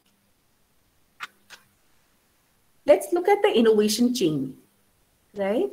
And I am going to leave a couple of these models with you. And, you know, each of these models actually lead to the same thing. So you're free to use whichever models you require to, you know, say, go back to your uh, uh, parent institution or host institution and bring a change there, right? So, uh, you know, uh, it's the method of converting science into wealth and as you can see, you know, there are these technology readiness levels. And I'll talk about TRLs in detail.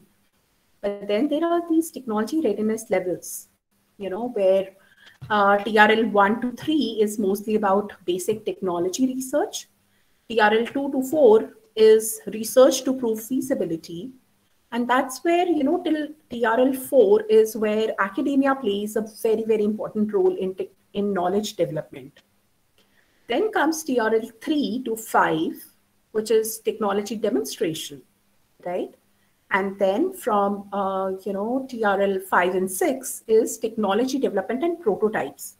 So I'm sure you've heard of, you know, a couple of these uh, maker spaces or, you know, there is also a DST scheme called Prayas where, uh, sorry, institutions can set up, uh, uh, you know, prototyping facilities in-house. So uh, coming back, you know, just to repeat, when you work on, you know, TRL 1 to 9, uh, academia and government labs can play a very important role till, you know, the startup or the innovator is still there, uh, you know, till TRL 5. At least 4 is important, but then uh, 4 to 5 is very important, right?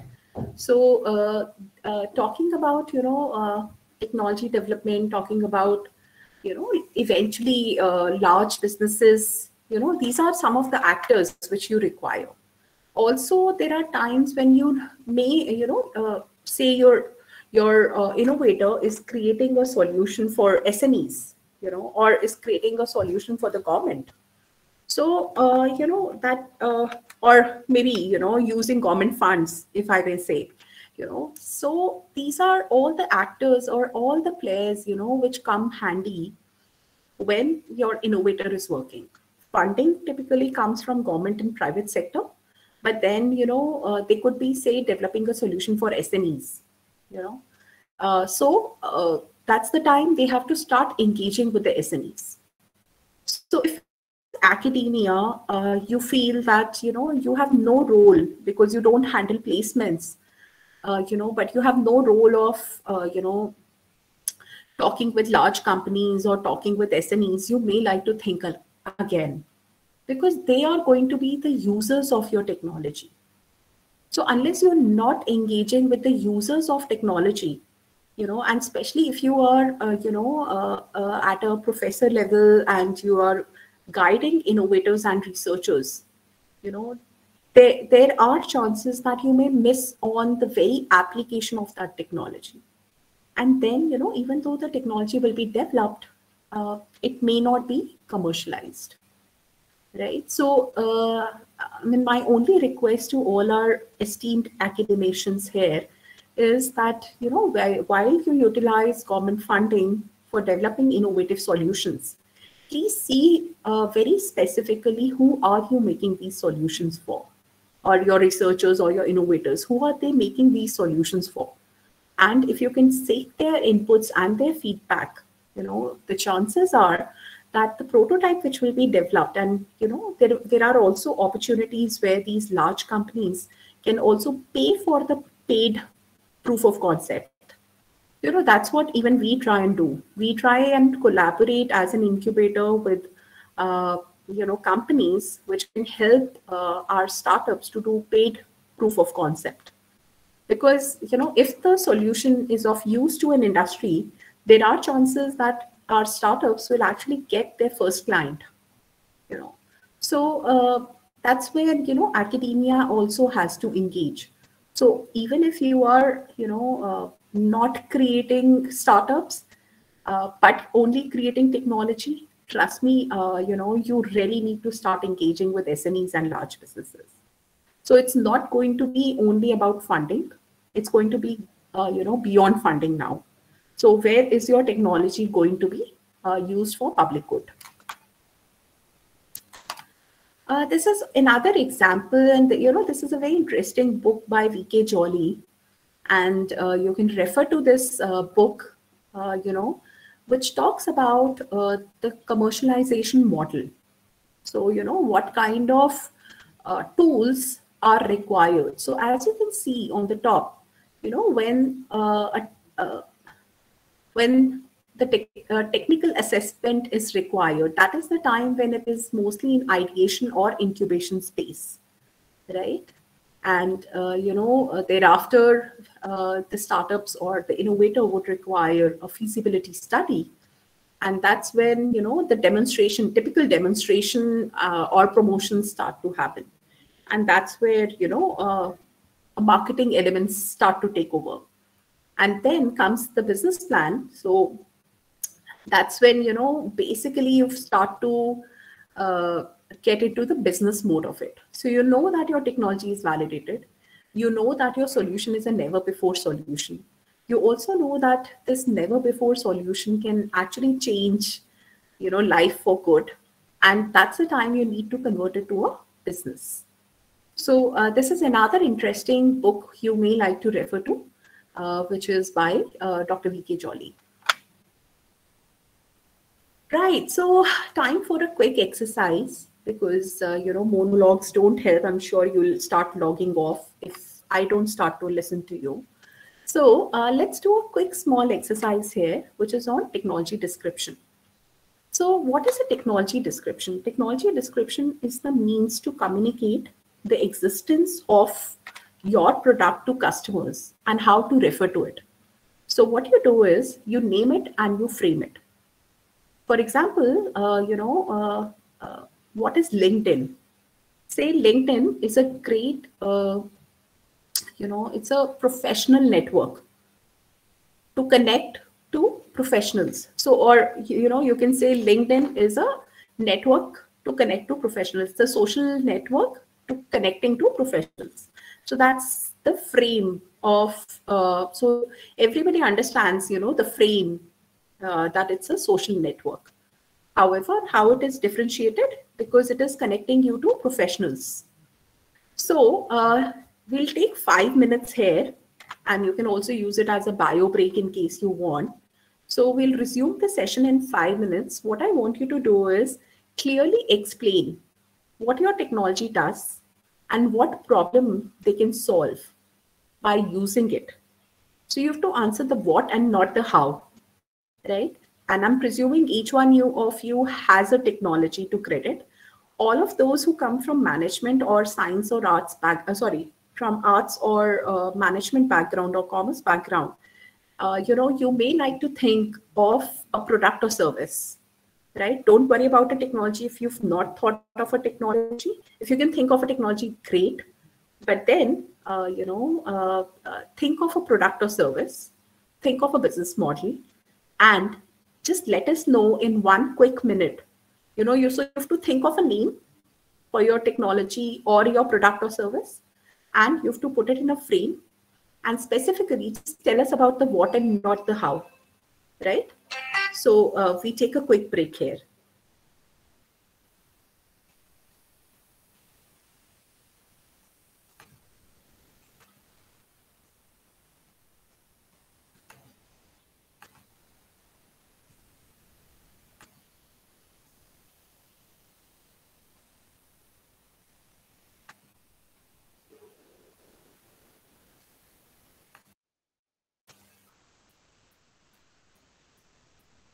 Yeah, please start working on your technology description, name it and frame it. So you can call it a business description in case you haven't thought of a technology.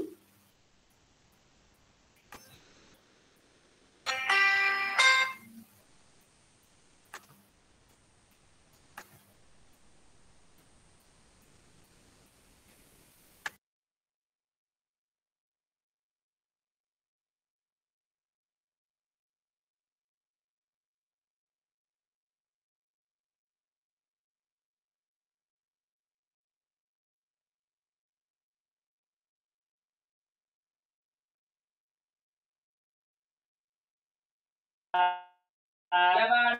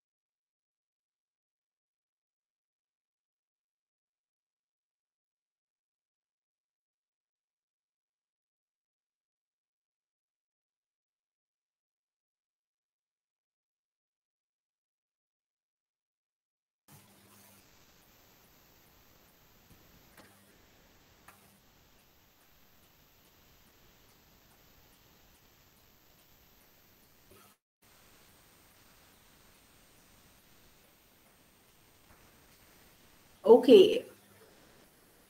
So can we just go around the table, uh, all the participants, if you're ready? With the technology description.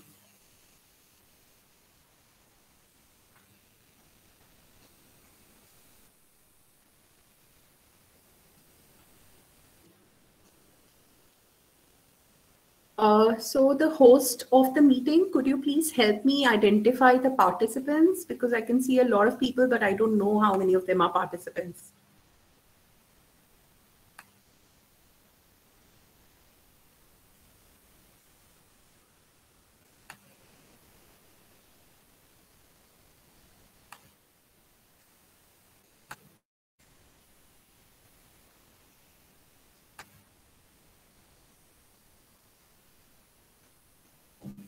Participants.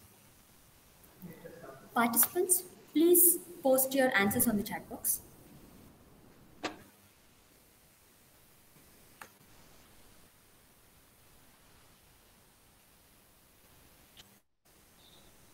Um, actually, there are like more than 100 odd participants. I know, I can see that, but that's okay. At least somebody has to start talking. Okay, okay.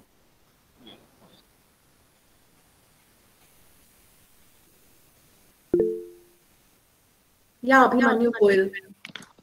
Good afternoon, ma'am. Uh, I was just thinking about CRED, how uh, what if does. It is a payment mechanism. So this is only I could uh, thought of in the context of what. Right. So, uh, Abhimanyu, do you have you ever thought of a, a technology or an innovative solution for if someday you have to come out and you know uh, create one? Any thoughts about it? Ma'am, sometimes have uh, uh, there are some ideas, but it uh, I haven't uh, thought about the commercialization of the ideas. Like in the morning, I was thinking about something like uh, we all uh, go through PDFs. We are facing some challenges to convert our PDFs into uh, some other sort of document files. How Mhm. it could be addressed in a more efficient manner. So I Mhm. was thinking about that particular aspect of the things. But Mhm. uh, if uh, if I see as an individual, is it worth to giving it even a try? So that is the whole question mark where an idea comes to an end for me. Right. Interesting. Thank you for saying that. So, uh, anytime you feel you're ready, you can always reach out, connect me on LinkedIn, and we can discuss again. Sure, ma'am. Right. Thanks. So, uh, but am I audible? Venki says I'm not audible.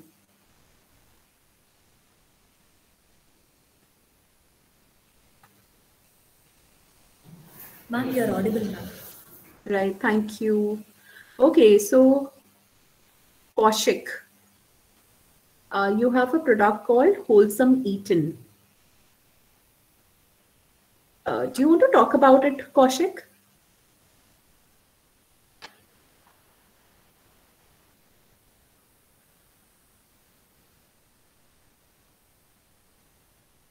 Certainly, ma'am. Uh, am I audible? Yeah, yeah, you are audible. Okay. Yeah, so this product called Wholesome Eaten uh, basically addresses the right way of approaching diet and food. Mm-hmm. And uh, as desired by the customer, it tries to solve the weight loss or weight gain problem, you know, just by doing the basic math. Right. And uh, in doing so, it also addresses the micronutrient issues, which becomes a huge problem uh, as you reduce or increase your intake. Sure. And uh, by doing this entire thing, uh, it saves you from the overthinking part about the diet and yet uh, lets you reach your goal. Right. So, uh, Kaushik, if you have to, uh, you know, give a top technology description, right? Uh, and it has to be, say, a single liner or a single high, high, uh, you know, uh, high level uh, single sentence, what it would be. So, can you name your product and put it in a uh, technology? Uh, sorry, put it in a frame. Is it a dietary supplement? Uh, it's not a dietary supplement. It's Okay. more of a service. Uh, think of it like an application. Uh, it's a application, but then it's not a product. It's a service. Yeah, it's service. Yes, you're it's right. a service. Okay, so I'm sorry, but throughout, you know, I was thinking that it's a product. So, you know, like we get uh, some high protein dietary uh, laddus, for example. Yeah, but yeah, when yeah. you say it's So- a service, huh, it's a service. Okay. Hmm. Yes, it's a service. Yes. Right. Interesting. So, uh, uh, could you now again put it in a frame? Uh, when you said a minute, ma'am, I thought uh, this would be a good explanation, but uh, put it in a frame. Uh, if you want me to put it in one sentence, uh, Uh-huh. I would just go back to my uh, Drawing board. very initial statement that says addresses the right way of approaching diet and food. Sure. So it's an application which helps you approach uh, diet and food Yeah, the right way. Uh, right way With- of approaching diet and food. yeah, without compromising on the, you know, whatever side effects you face or whatnot. But then, but then, Kaushik, here we are not able to understand the what of it. So, like when you told me that, you know, you talked about what. So, you know, when you talked about what, uh, and you said it's an application, that was the time I started to understand that it's a service. It's not a product. Okay. Yeah. So, uh, you know, uh, what you can actually say is that it's an application uh, that helps you uh, approach diet and food in the right manner. Does that work? Yes, makes sense. Yeah. Yeah. Okay. Thank you. So, you know, one thing uh, what we also do when we do this exercise is we also try and understand, uh, you know, the logical right ways of, you know, putting our words uh, or our argument in so little words so that it makes sense. You know, because we don't know what background is the other person coming from and that happens you know uh, whether you're pitching before a jury or your startup is pitching before a jury so you have to actually tell them in so little words such that you know they can easily understand despite uh, you know any background they're coming from. Uh, abhimanyu naveen uh, you've raised your hands. Please go ahead. Ma'am, uh, can you give an example of a famous startup and you can describe its what and uh, the whole exercise on that particular startup? sure. So uh, you all know of uber Yes, ma'am. what does uber do Uh, it is a mechanism by which it links the uh, service providers and the who are seeking the rights. okay so uh, can i say it's a cab sharing platform Yes, ma'am. three words So this is the what of uh, the startup yeah exactly technology. this is the water for a startup it doesn't tell you how it does it so you know they have algorithms at the back end. All of that is fine right? So you know but then technology description is just the what of it. So as little words putting it in the most commonly known terminology. So um, when I was uh, talking about the cred uh, startup, Ah, so my description of it, it is a payment mechanism. Was it right?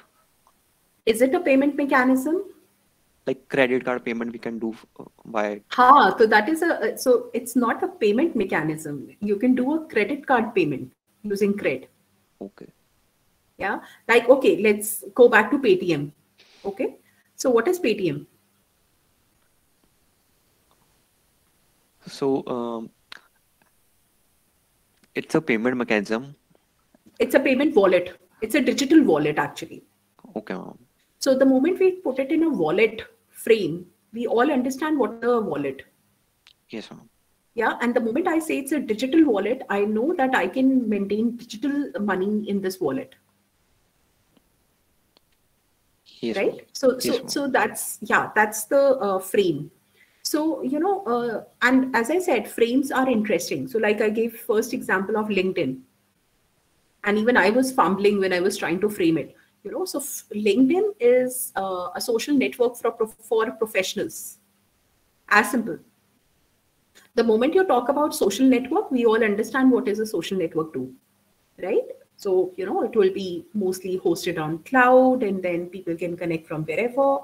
The moment I say professionals, I understand, you know, under what uh, specific segments, a segment of people is it operating for. So that's what we do. So, right? uh, as Yeah. far as I understood it, frame is a way of putting the what of the technology to the intended customers or the investors.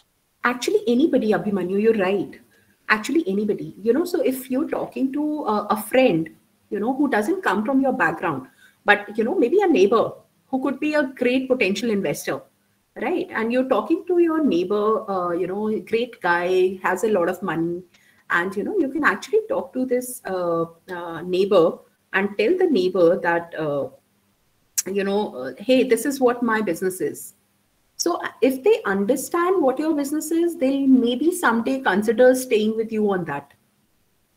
Right? Or it could be anybody, you rightly said. Could be, you know, investor, could be a stakeholder, could be even a bank manager, anybody. So, you know, people have to very specifically understand what you're doing. And these common branding terms is what people have already started to understand. Right? So it's always good to create a technology description of your uh, technology or business or innovation. Uh, naveen please go ahead. Yes, ma'am. Uh, I want to to, uh, talk about a product I thought about idea, product idea. right Uh, it is about an swappable battery technology Mhm. where we can provide electric vehicle users with hassle-free Hmm. time-saving and efficient charging experience. and what Yes, It is a modular okay, battery technology where, Sure. a- where it is called. Mm. sure so uh, what kind of vehicle are you talking about uh, so is it a e-rickshaw or Hmm. some other vehicle Uh, it is cross-compatible, ma'am. We can use in any vehicles, kind of. It is shaped into it. I am thinking about shaping it in kind of a brick shape, uh, where manufacturers can use in any kind of vehicles, like standardizing batteries. Ma'am, we can use double Acha. batteries in any remotes or any vehicles, any Mhm. remote vehicles and all. right Uh, so in such a way that I want to standardize batteries to electric vehicles. Okay, so can you can you say that it is uh, a Yes, ma'am. battery battery swapping uh, mechanism? I mean, is it a mechanism or a system or a uh, or an aggregator? I mean, what is it going to be? Is it going to be a service or new technology? I mean, what is it going to be according to you? It is both the kind of uh, it is an existing technology only, ma'am. Already EV lithium-ion batteries are present in market. I am Right. creating new business model uh, So where we can okay, create okay. stations and we can franchise the stations like petrol bunks and all. Right. So you're creating a battery swapping infrastructure. Yes, ma'am.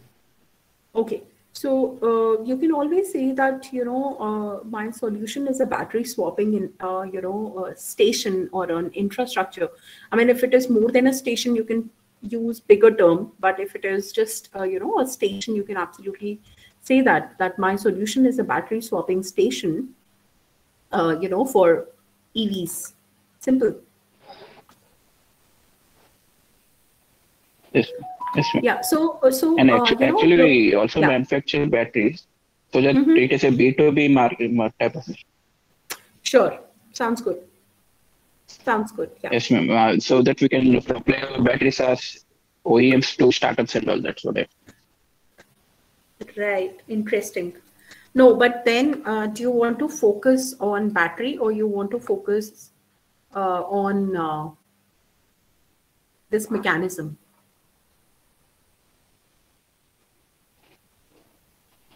Uh, it is a total total package, ma'am. Both battery and uh, mechanism mechanism with the infrastructure also. We can franchise the infrastructure like stations and all, and but we Mhm. can manufacture the batteries and produce to and uh, supply to startups, EV startups and EV companies. Right. Okay. But then uh, maybe I think uh, what we'll do is someday other, uh, you know, get into the detail of it. But I think uh, uh, you you quite understand what we are talking about. So thank you for doing that. Okay, so I'll just read from the chat yes, box Yeah, I'll just Okay, uh, read from the chat box now. Uh, anybody else has any other uh, technology description they'd like to share?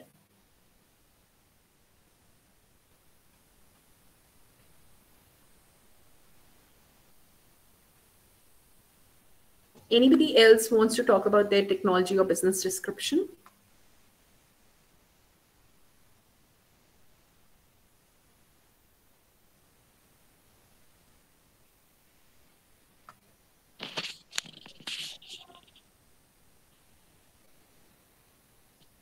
Naveen and Abhimanyu. Naveen, go ahead.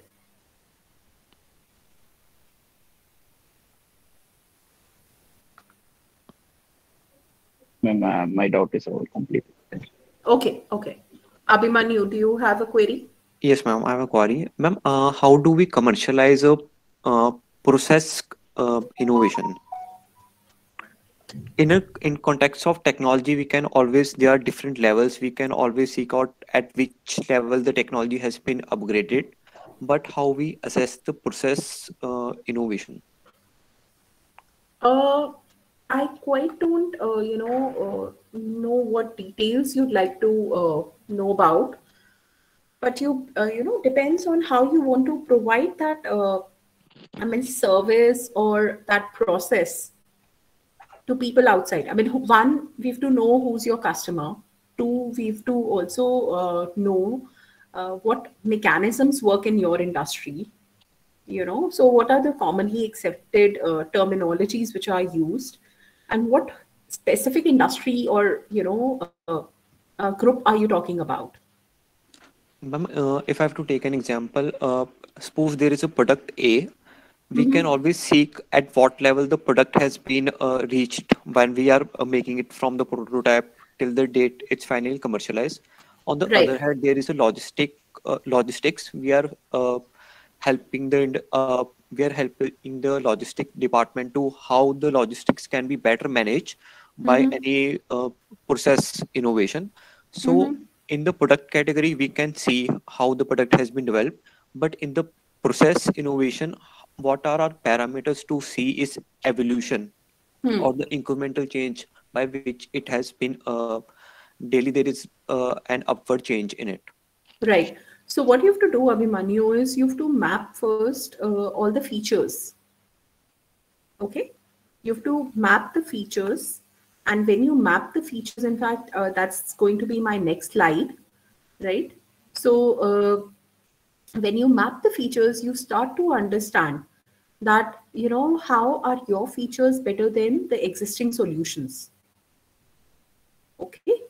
Uh, when I say features, it could be anything to everything. And it could also be, you know, how is uh, your technology uh, more affordable? Or how is it that your technology is more efficient? Or how is it more convenient or adding to the convenience? You know, so you have to actually compare the features. You have to keep a reference point, compare it with the features, and then, you know, come out with the outcome.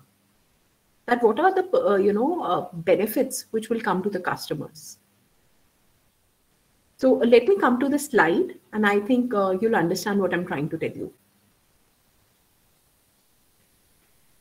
Okay. Sure, yeah. Thank you Abhimanyu. so there is a question uh, which is that how to build an idea into a deliverable service model and requirements Okay, so you know the steps remain more or less the same. Uh, you you take an idea, uh, you think of a product or service around it, you start to work on the features of uh, this product or service. You look at what benefits are going to come, and then you know you start to identify uh, the technical specifications, and you start working on you know uh, what will customer pay for right? But before that you also go out and uh, you know seek feedback before you you know start to commercialize your solution. So it's important to take a feedback so that you know you don't spend all of your money without understanding the customer needs right uh, I hope that was useful, Rameshji. Yeah, thank you. Uh, anybody else wants to discuss uh, their uh, technology or business description? I mean, any thoughts you have?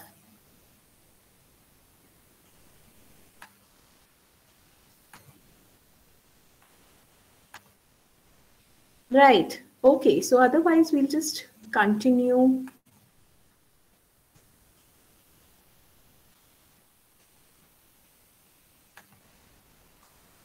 I hope you can see the screen.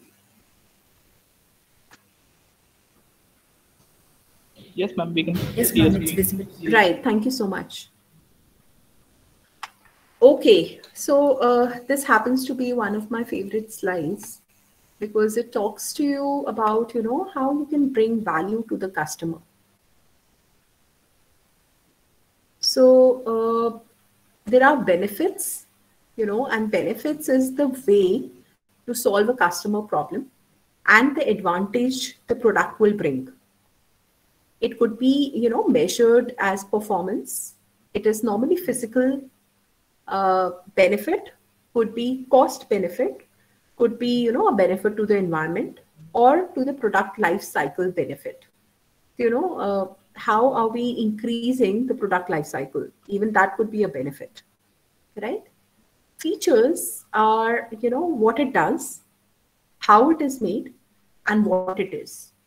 So you know very specifically uh, for example you know we all use a lunch box just giving example of a lunch box so, you know, there are various type of lunch boxes. So there is one which has a little insulation. Then there is one which has, uh, you know, an electric cord and you can actually heat your food. Then there's another one uh, which is plain, you know, steel tiffin. Then there are plastic tiffins and all of that, all these lunch boxes. Now, uh, if you have to start to, you know, uh, create differentiation among the various type of lunch boxes, what you start to do is you start to look at the features Okay. See, the benefit could be that if it has insulation, it might keep the food warm. But then, you know, if you're using the one with the cord, the benefit it will bring to the table is that it will actually, you know, not just uh, uh, keep the food warm, but it can, you know, you can plug it in and you can even warm the food further. And a plain, you know, simple uh, lunchbox, which is cheap and, you know, uh, easy to carry, it's lighter in weight, is the one where you can actually, you know, keep or use it for cold food. So, you know, each of, although it's, it just looks to you like a lunch box, but each of these lunch boxes have different features and therefore they bring different benefit to the customer. So anybody who purchases a lunch box, so, you know, a specific category of lunch box, say without insulation, so uh, something without insulation, maybe you can carry fruit or you can carry, you know, sandwiches, something you don't need to keep warm. But if you want to carry warm food, you may like to look at a lunchbox with insulation, or you may like to look at, you know, a lunchbox uh, which can, as I said, it could heat your food also, right? So uh, that's features, you know, it is the technical detail of what the innovation does right? And trust me you may think that you know lunchbox mein kya hai? It's the you know uh, uh, simplest of the example but imagine how important it is because everybody who works try and carry their lunch boxes i mean we are yet not america that will buy a lunch from outside. So you know even if you can come out with an amazing uh, you know design of a lunchbox uh, you know something which can appeal to everybody it's a great innovation you know. So there could be people you know who carry it themselves. There could be people who can keep it in a car or there could be so you know all of this completely depends on the type of customer or the customer persona as we say. So those segment of customers we want to sell it to. So somebody you know uh, who wants to keep it in a car can actually keep one the case also. But somebody who has to carry it in, you know, local conveyance would like it to be lighter in weight, as well as spill proof. So that uh, tiffin has to be spill proof. So, you know, it has to be vacuum packed and convenient as well. So that's that's how much you know every single product is important. So you have to understand every technical detail of you know a simple product which you want to develop. Now, what are the technical specifications? So technical specifications actually, you know, relay a specific benefit and value so that the customer pays for it. Coming back to the lunchbox, the size of the lunchbox, you know, mentions that's one of the technical specification. If you know it has a cord which can help you to warm the food, then you know that cord has to be compatible with the normal, uh, you know, uh, power cords you know 220 volts it has to be compatible right? Uh, then you know it should not be uh, so much powerful that it burns the food. So you know optimally say for half an hour or 20 minutes somebody plugs in and you know it warms the food. So it must also reflect the technology innovation to distinguish or explain product specs. So what are the product specifications you know? Uh, that's something what uh, people understand. Like, why would you buy, you know, a, a phone? A, a, mobile is a mobile, you know, but why would you go and buy a very costly mobile phone?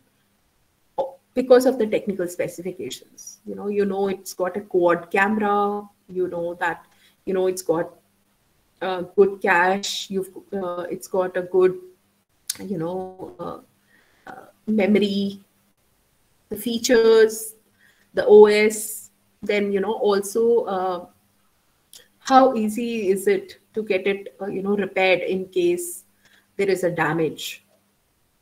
So all these are technical specifications, you know, eventually, and then you know uh, something we give to the customer is called value. Value is what a customer gets in form of benefits, right? In return of the money being paid. So, you know, customer pays you money.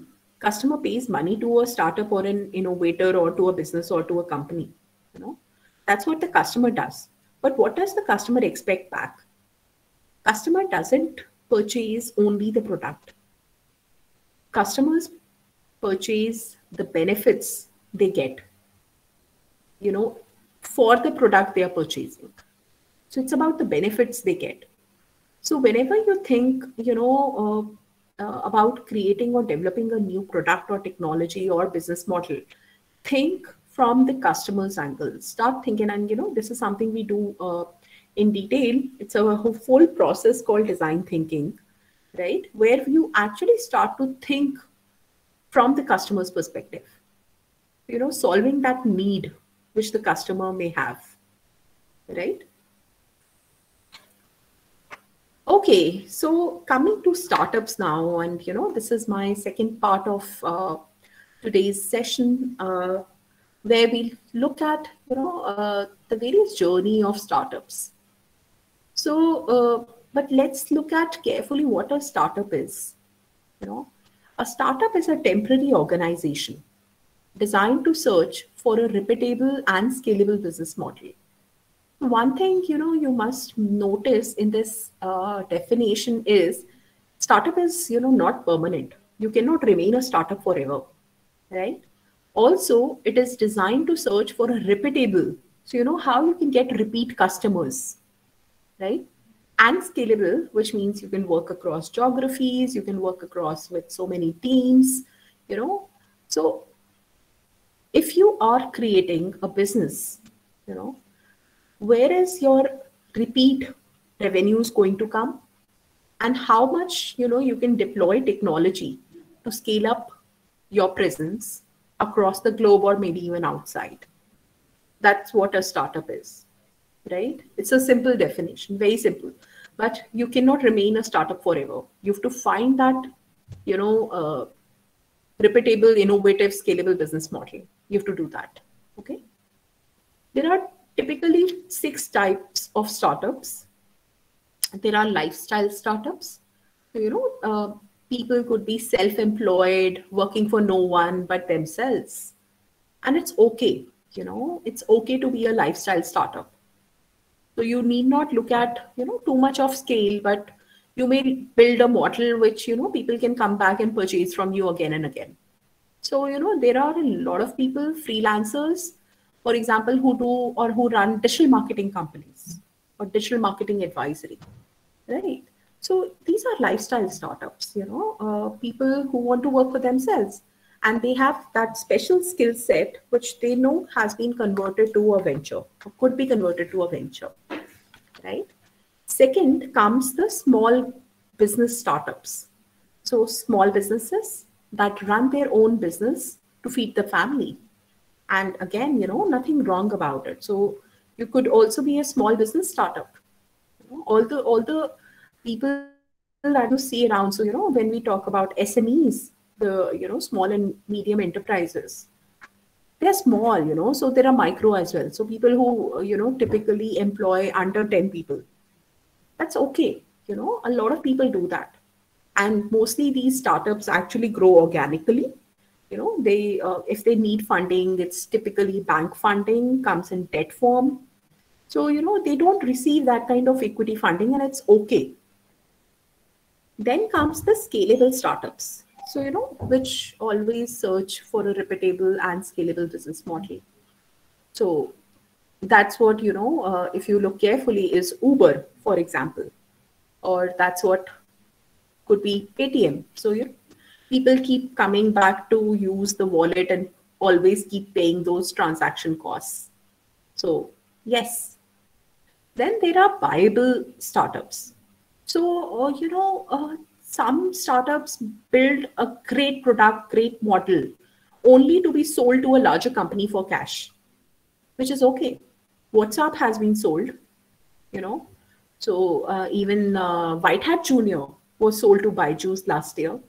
So nothing wrong about it. You know, they they put their uh, uh, 110% during that much time, take it to the peak, and you know, uh, build that great revenue model or business model, and then you know they can be sold to a larger company for cash, and it's okay to be a viable startup as well, right? Then there are large company startups, right? So they innovate or they are uh, forced to die to you know or die forced you know to create new innovative products. So they always keep innovating right? So there are these large company startups as well right? And you know uh, uh, if you carefully see the evolution of most of the startups in india be it the flipkart or you know uh, uh be it oyo rooms for that matter you know they they all started with a single or maybe uh, you know a different business model and eventually pivoted. So, you know, they eventually changed their track. They looked at uh, other more lucrative segments and they created some more innovative products to stay, you know, competitive in business. And there is another category of startups, you know, uh, which we are seeing a lot emerging is the social startups. So they are more passionate and driven to make an impact. So, you know, it's mostly an impact which can be measured in form of social or environmental uh, change. So, you know, they want to bring a social change. They want to help people. They want to, you know, then there are, uh, you know, startups which are working in sustainable businesses, clean technologies. So, you know, working with farmers, utilizing technology to work with farmers and others, marginalized sectors. So, you know, these are social startups. In fact, you know, uh, we are actually seeing almost 50% of startups coming to us nowadays come coming as social startups. So you know if they are a social for-profit startup so you know uh, of course their growth is a little different but still you know they have to always look at creating an impact more than you know creating revenues or creating you know uh, profitability. Not revenues yeah revenues are important for sustenance but then uh, you know i would say creating profits so uh, almost 50%, as I said, uh, we meet social startups nowadays. Right. Uh, so that's what Ravi actually asked me to do, uh, talk about the startup life cycle from ideation to growth. And as you can see, it's a very, very simple uh, life cycle. It starts typically with an idea, uh, goes through planning,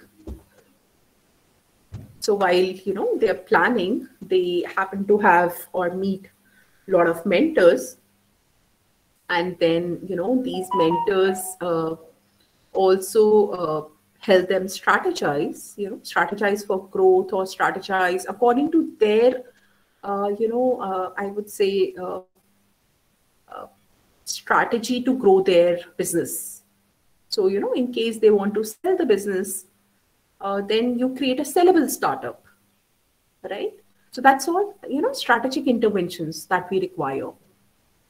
And then you know they market themselves so that uh, you know the product and service is marketed very strongly so that you know they can create that much noise and they can get some paid customers. Uh, then comes finance. You know uh, financial requirements are mostly met by you know uh, if, if you talk about uh, government programs it's basically in the form of grants or you know financial uh, support is also being provided by banks. Uh, and financial support is also being provided by you know uh, early stage investors. Uh, in fact we have our own seed fund which we deploy in companies. In fact i have a seed fund committee meeting uh, starting in just you know next two hours. So you know we're looking at investing into startup companies one in travel tech domain and another in health tech domain right? So you know finances come from and as of today as they say you know if you have a great idea and a great innovation and a great you know uh, uh, method of creating impact uh, funding is not a big constraint in fact most of our startups i mean i would say when i say most of them i mean almost 50% of them actually you know raise external funding after you know even after we have invested in them. Then comes you know the realization which is you know they see the growth trajectory and you know uh, they see some success you know. However you know one word of caution if you want to become an entrepreneur only to you know uh, and this is something you know you can take back to your entrepreneurs or take back to your students uh, that if they want to become an entrepreneur only so that they can raise funding, then it is not going to happen. So, you know, funding uh, is actually, or financing, external financing is actually, uh, you know, uh, it happens after careful planning. It is uh, an outcome, and you can't start with funding. So I'm sure uh, you will meet or you have been meeting a couple of these uh, entrepreneurs who just come to you with an idea and say, you know, funding dilwa dijiye. So, you know, which is, you know, get us the funding. So you have to only tell them that it doesn't work like that. And that's why, you know, uh, we need so many engagement models uh, between academic institutions and students so that they understand that, you know, just like placements don't happen just because you've enrolled in a program, you don't become an uh, you know entrepreneur and don't raise funds only if you know uh, uh, you have decided to become an entrepreneur. So it's not it doesn't work like that right? So uh, it's tricky but then that's how it is so it's typically you know uh, if i may say it's typically about you know two to three years of cycle uh, that you may start to see some finance coming your way uh, so, you know, talking a little more in detail, uh, the first step, as I said, is idea. And as you can see, you know, uh, that's uh, from time zero, it's actually in negative, you know, it's minus one and minus two. That's the formation stage, you know. So, idea is just the formation stage. So, there is a mission to make a change, there is a vision, and there is strategy. So, you know, it is, it starts with an idea and then there are co-founders and there are teams. So, you know, what to, whom, why, and how, you know, that's what you start answering. And what you do is you look at creating a problem, a problem solution fit. So you look at, you know, ideating, you look, uh, look at concepting. Then comes the validation stage. You know, that's where we suggest, uh, you know, startups should remain lean because you're still validating. You don't need a lot of team members. You know? So you create a minimum viable product as well as, you know, also look at validating or iterating. So as I said, you know, validation means you start taking feedback. That is it you know, right technical specification? Is it uh, going to bring the right impact? Is it going to bring the right benefits with the customer desires? Okay. And then you also look at committing and validating, right? So you start to create a product market fit, as we call it. So as you can see, the different level of validations and, you know, uh, uh, first is the problem solution fit that, you know, you've clearly rightly identified the problem you want to solve, right? And the solution you're thinking is the right solution. And after that, you come on a point zero, you know, so on the timeline, you come on point zero where you start to look at a vision and founders fit. So, you know, uh, one thing we always tell our entrepreneurs is that it's uh, majorly, you know, the philosophy of a founder or philosophy of an entrepreneur, right? Which uh, eventually becomes the mission and vision of the company.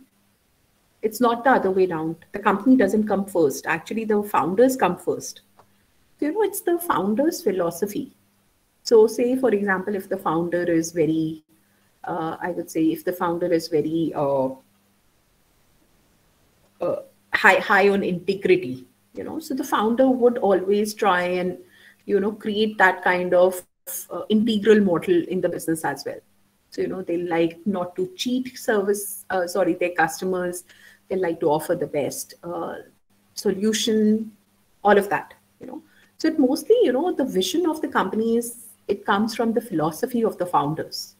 That that's why it's important to establish that fit. And then comes you know the product market fit.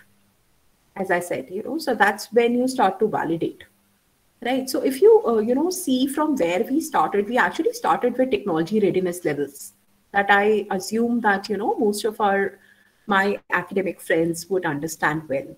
But then now we are coming to the startup definitions. So these are some of the terminologies the startup use on a day in, day out basis, right?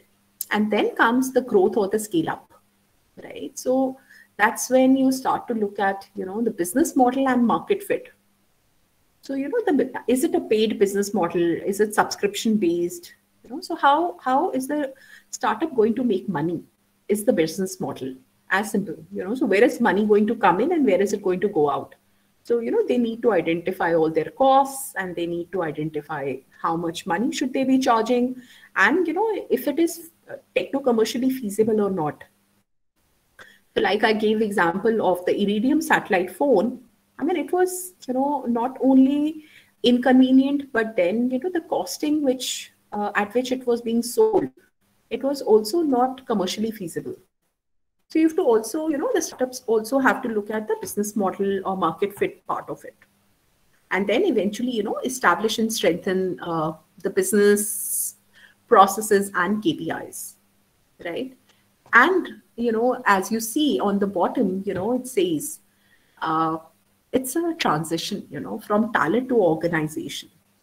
So while it could be, you know, the talent of that one founder or two founders who've come together, eventually, you know, what they set up is organizations.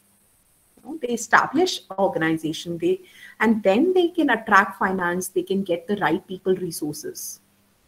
So it's a lot of careful planning, as I may say, you know, which helps uh, startups to, uh, you know, take from ideation to, you know, creating those or establishing those great organizations, right? okay, my favorite slide. Let's look at how, you know, uh, academia can support student entrepreneurship engagement on campus. So, uh, uh, you know, it starts with, mostly starts with an e-cell or an innovation cell on your campus. And I'm sure, you know, uh, most of you who come from academic uh, institutions would already have an e-cell or an innovation cell. Uh, I've also given, you know, uh, what kind of events you can organize. So you can organize some workshops. You can also organize some entrepreneur talks. You can organize boot camps. You can also organize idea challenges or hackathons, right? Anybody has a question? Yes, ma'am. Yeah, yeah, please. Uh, I am Professor Patnaik from uh, uh, Lankapalli Bullayya College, Visakhapatnam. Good afternoon, sir. uh, actually, uh, we are facing a big task regarding, you know, inculcating the entrepreneurship culture among students in the colleges, Right, sir. uh, mainly in northern uh, districts of Andhra Pradesh. Mm-hmm. Uh, as you said just now that you know we opened a cell established a cell that is ISK we call that is entrepreneurship innovative startup cell. Mm-hmm. uh, uh, it has been about three months or so and we have been working on that. Right, but uh, uh, you know tangible uh, positive response from students mom i mean mostly even we interacted with the parents also actually opened a whatsapp Mhm. group interacting with students and conducting some you know guest lectures and all we have been doing even uh, despite uh, present uh, corona wave or whatever it may be with all protocol observing Right, sir. but uh, mm, uh, and uh, recently, you know, APSI or uh, QSC from uh, mm, from Andhra Pradesh government, Right, they opened uh, one um, cell also in IMMV, some boot camp and all. Mm-hmm. Uh, all those measures uh, we are taking, but uh, hardly, you know, we are finding any positive response from students. You know, all are interested for in some sort of job, some three to four lakhs package and all. Uh, that is the content uh, what we are facing with the students Mhm. even even in Right. engineering colleges. Uh, to that's break okay. it? How That's to break it? It's a ground level reality, ma'am. It's No, no, I agree. level. I agree, sir. So, you know, uh, see, I- I've been part of higher education since year 2000. Yeah. In fact, I started my career as a lecturer only, right? Okay. Okay. So, yeah, so it was only in 2007, uh, Mhm. you know, that I got an independent charge of heading a business school. Mhm. Uh, that was the time, you know, uh, because it was a business school, I introduced mandatory training on entrepreneurship. In fact, Okay. I'll come to that. Yeah. So when why why I made it mandatory, I Mhm. uh, because I thought that you know there is that one convergence point Mhm. where all the subjects of management Mhm. can be applied by students. Because what Right. happens, sir, if they go for a job, you know, Mhm. they, they can get a job in, say, marketing, or they'll get a job in HR, or they'll get a job in finance. But Mhm. you know, no company will give them how to create a HR strategy or how to create a marketing strategy. Okay. And you know, uh, also uh, maybe by the time they'll so they first join as a executive, then they join as you know, so it, it's a long time. You're right. Uh, so uh, what I want to tell you here is, sir, I actually trained that time, five years, I was the head of this business school. Had you been successful, ma'am? So that's what I'm coming to, sir. So I, Okay. I, I trained 1,400 students, sir, on Okay. entrepreneurship, both MBA, good. BBA combined. And Also, we used to, yeah, so we used to teach them uh, entrepreneurship in first semester itself. Okay. Okay. So not, yeah, not let it go till the third semester when they start to worry about placements. Okay. And, and we started to give it as a credit course. Oh, okay. Add on.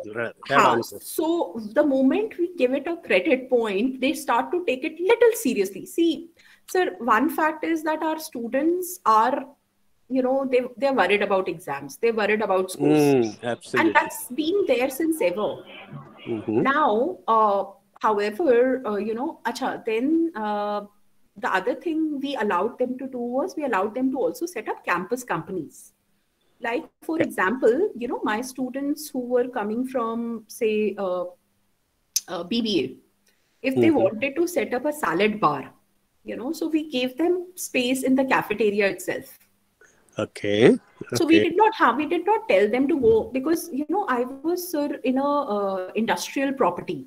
So that was industrial area where my business school was established. Okay. Okay. So we, okay. we did not have, we did not have, sir, acres of campus. So we didn't have space to set up an incubator.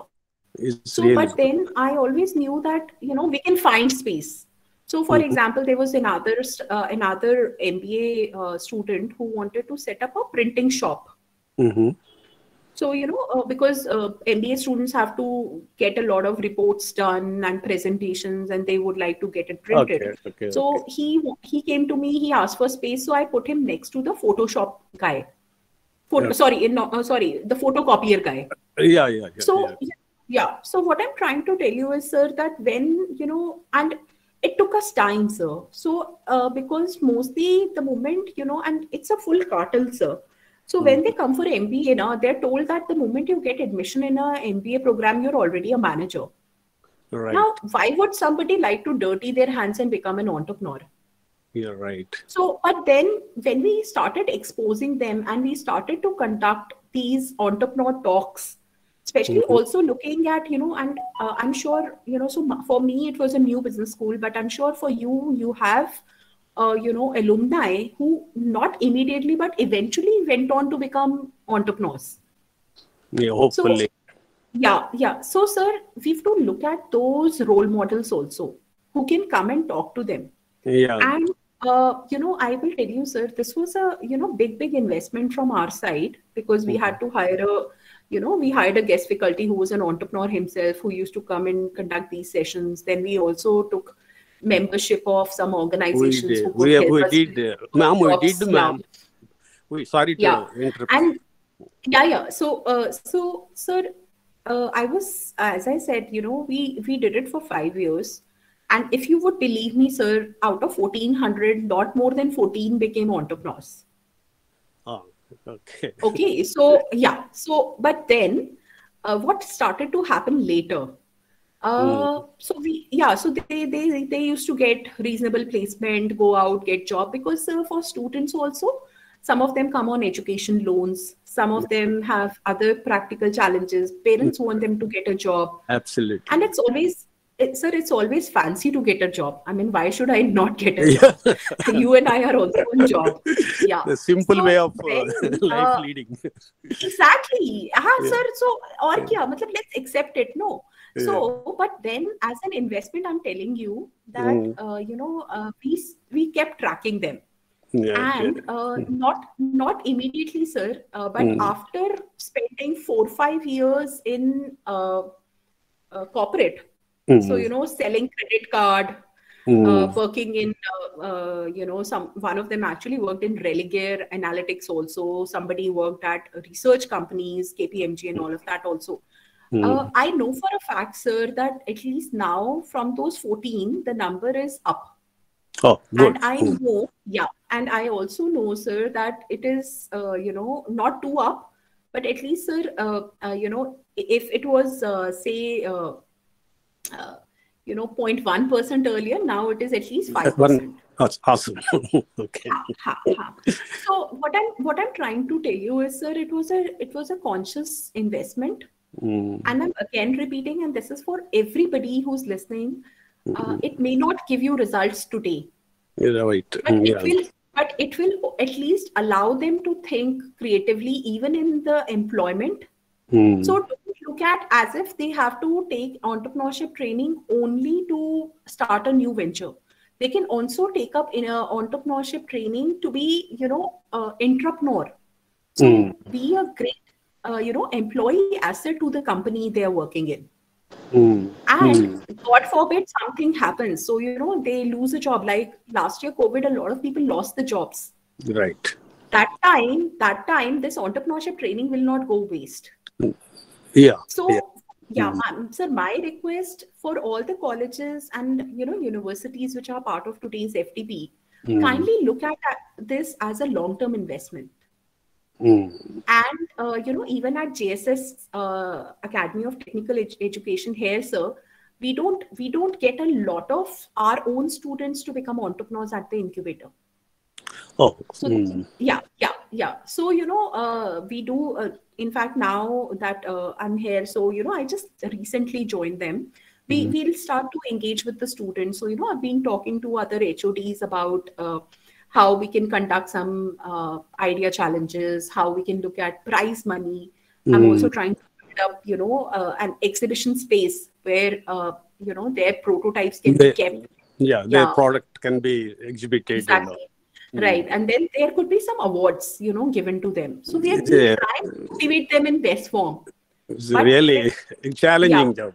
It's a challenging job. It's a, it's a lot of work. So it's a full time Yeah. work. So one, It's full time. Mm. uh, one, please uh, put a coordinator uh, in your Yeah. campus to do that all the time.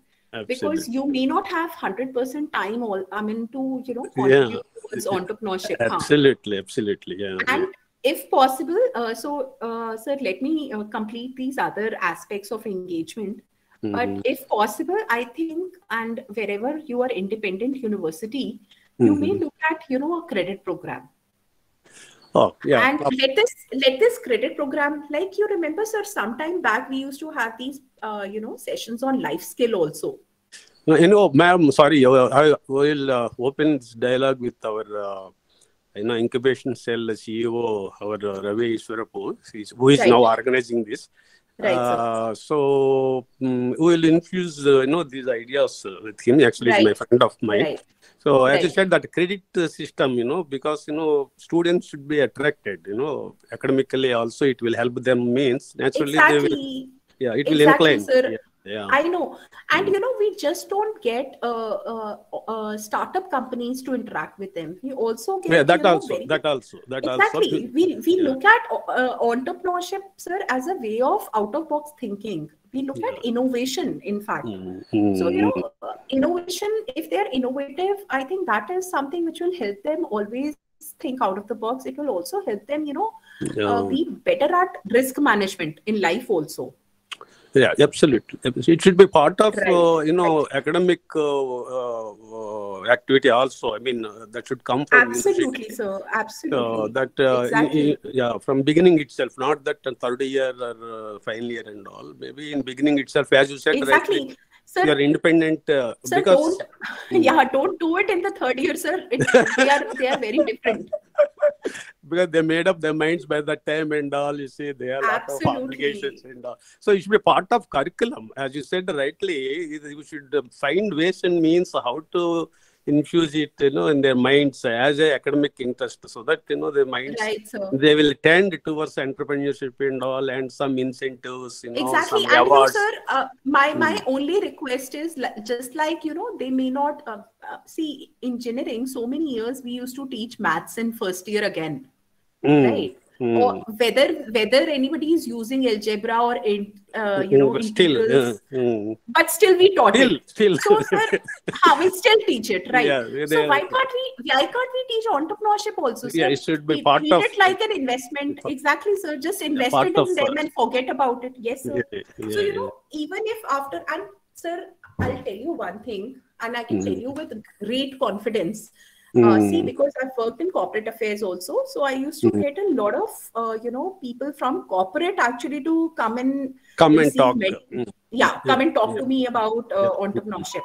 So you know, I'm talking about the likes of say CTO of HP, Yeah, absolutely. Yeah, yeah, then you know director public policy of Microsoft, then uh, you know CTO of Ericsson. All three of them are entrepreneurs as on today, sir. Yeah, yeah, yeah. So Yeah, and these these are people, sir, who've decided to become an entrepreneur after seeing the corporate world for about 20, 25 years. naturally.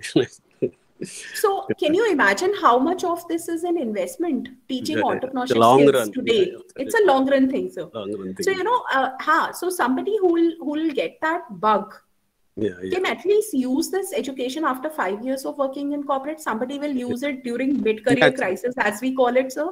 Yeah, Uh, I mean, I was uh, when I was with IIM Lucknow, uh, uh, you know, average because this was executive education campus. The average Mhm. uh, experience of every uh, Mhm. student used to be about, sir, uh, eight to twelve years. That was the average experience. Oh, mm. So you know that was the time people decided to leave the jobs. So uh, we have uh, we used to have you know uh, students come from ST Microelectronics, then Samsung. So you Yeah, know, a couple of them quit their job. They said we can use all our savings and try and become an entrepreneur for once if the Awesome. institute is supporting us. Really. Mm. Good achievement, ma'am. Real good Exactly. achievement. So, sir, it takes time. I agree. It takes but time. Then, I- uh, it's but not then- short term. uh, this. Exactly, uh, sir. Up- Culture. Oh, absolutely. So the only thing I'm suggesting is like just like we te- still teach maths and chemistry. I don't know if we still teach chemistry, but yeah, no, no, still, chemistry is there. It's there. First Acha. year, first Ha, ha. chemistry So why why can't we teach entrepreneurship also, sir? Yes, Treat it we like will an talk. We'll, ra- we'll take this thing, uh, Absolutely, levels sir. and all. Yeah. Ma'am, where you're stationed? Uh, you're, I'm in uh, Noida, sir. I'm in Noida. Acha, Noida. So Yes. now, if you're, if you're nearby, we thought of inviting you to give a lecture to our students in the university. But anyhow, I will talk to Ravi whether it's possible, uh, you know, to take your valuable time for some time. Uh, address Sir, our we can. I'll be. I'll be happy to do some. Uh, you know, sir. Agar any time we have to do, we'd be happy to do some of these.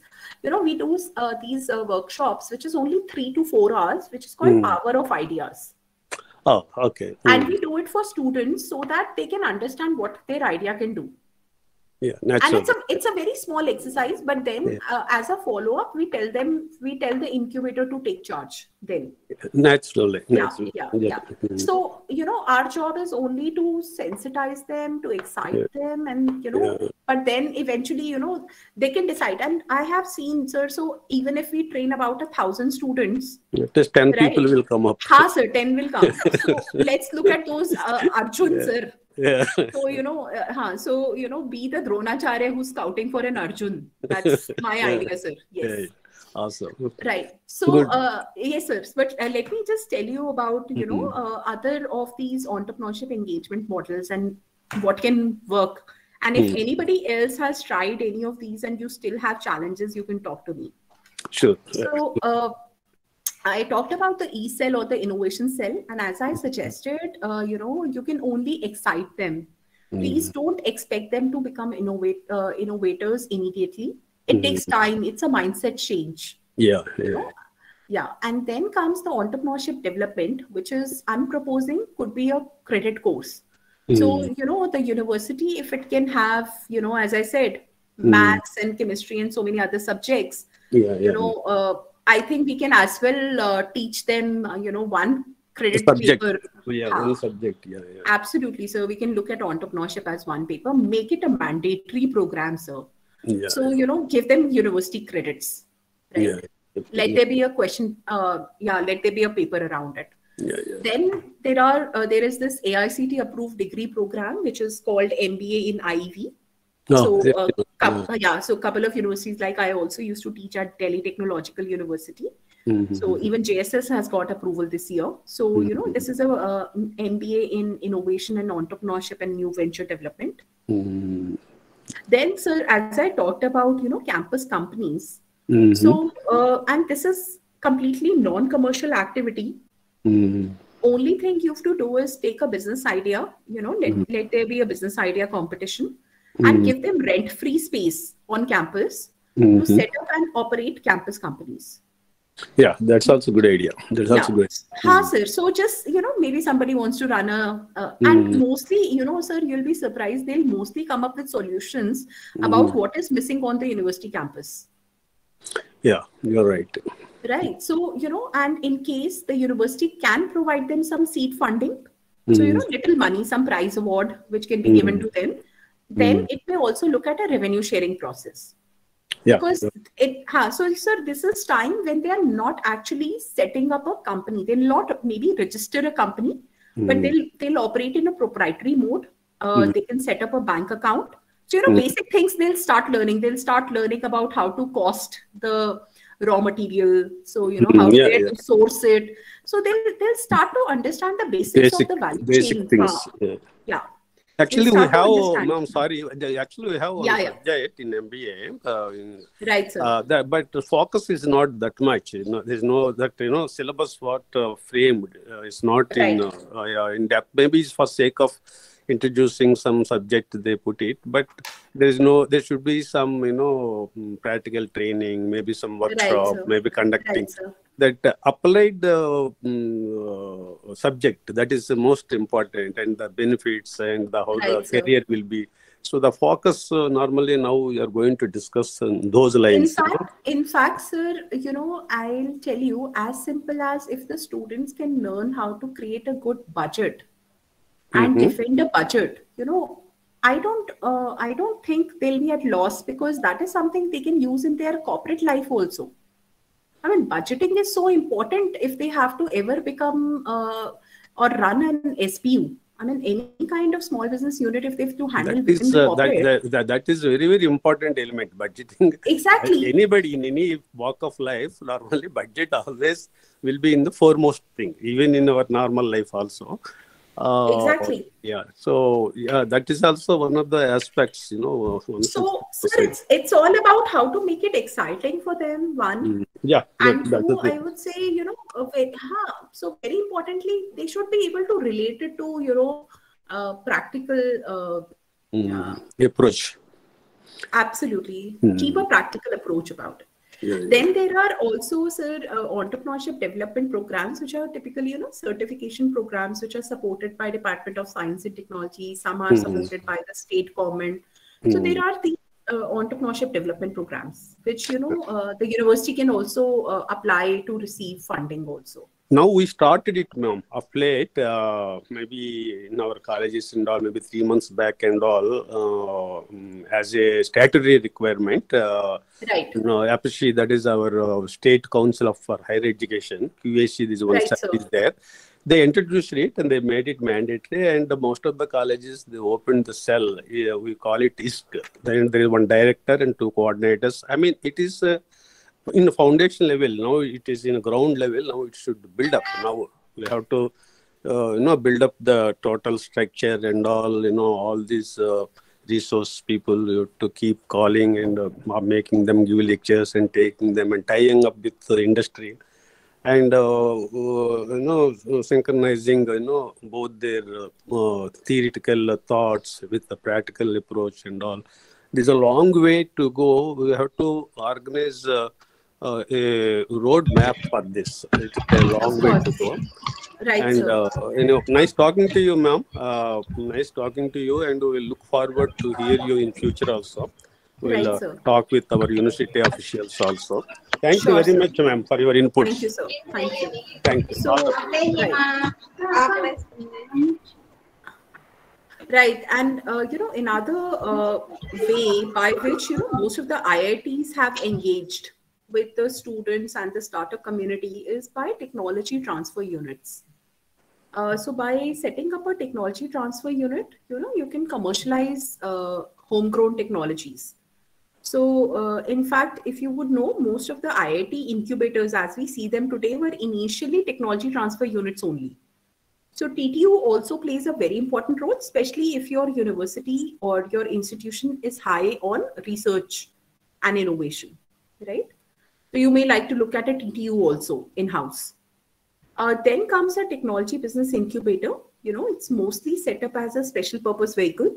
Uh, it has a dedicated incubation space and you know it can also receive you know seed funding from one of the government india schemes government of india schemes uh, and you know uh, it can also invest in companies like for example we have uh, you know uh, the startup india seed fund now we also have the department of science and technology seed fund and we also have uh, an nstdb seed fund which we had you know uh, deployed in companies and we've received returns also. So uh, these are few mechanisms by which you know uh, entrepreneurship engagement can become begin at your campuses. And i'm repeating it's a long term investment. So you know don't worry about uh, you know what it will do because you'll be surprised what it can do.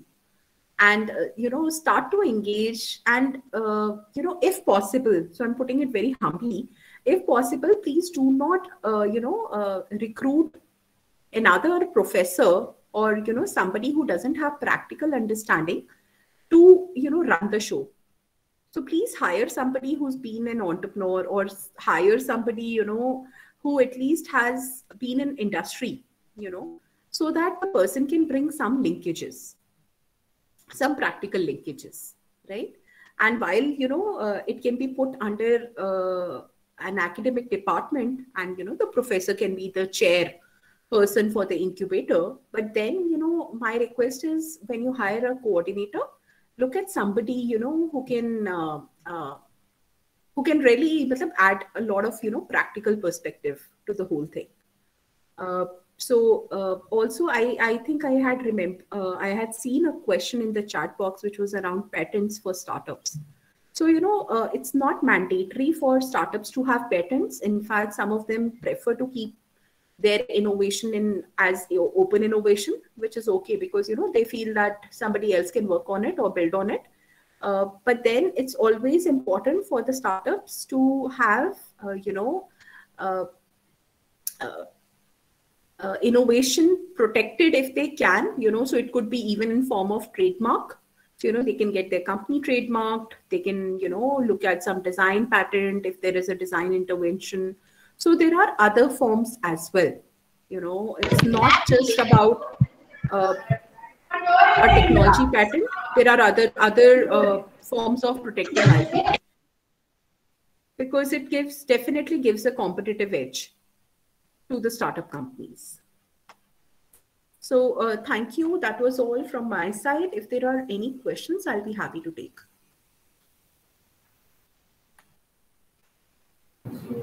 Ma'am, there is a question from Abhimanyu Goel. Right, I'll just come to main screen. Yeah, I'm back.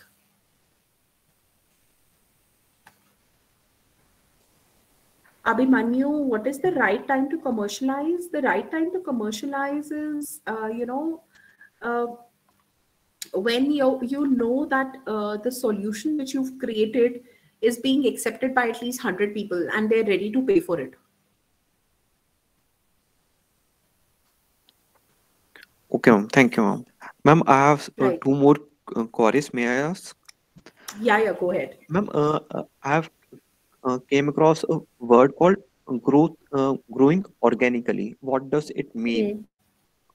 Can you so uh, there are two light? okay so there are uh, you know the two type of major terms which work one is growing organically and growing inorganically so when you raise uh, you know when you are bootstrapped so this is another term which means that when you uh, apply your own friend and family money you know and uh, you uh, look at you know uh, working with your own revenues right?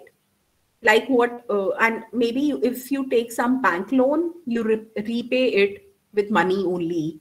So you know you repay it with the revenues you've received. Then this is called organic growth. So you're growing organically. You're using your own money and you know you're putting that money or investing that money your venture and you're growing your business.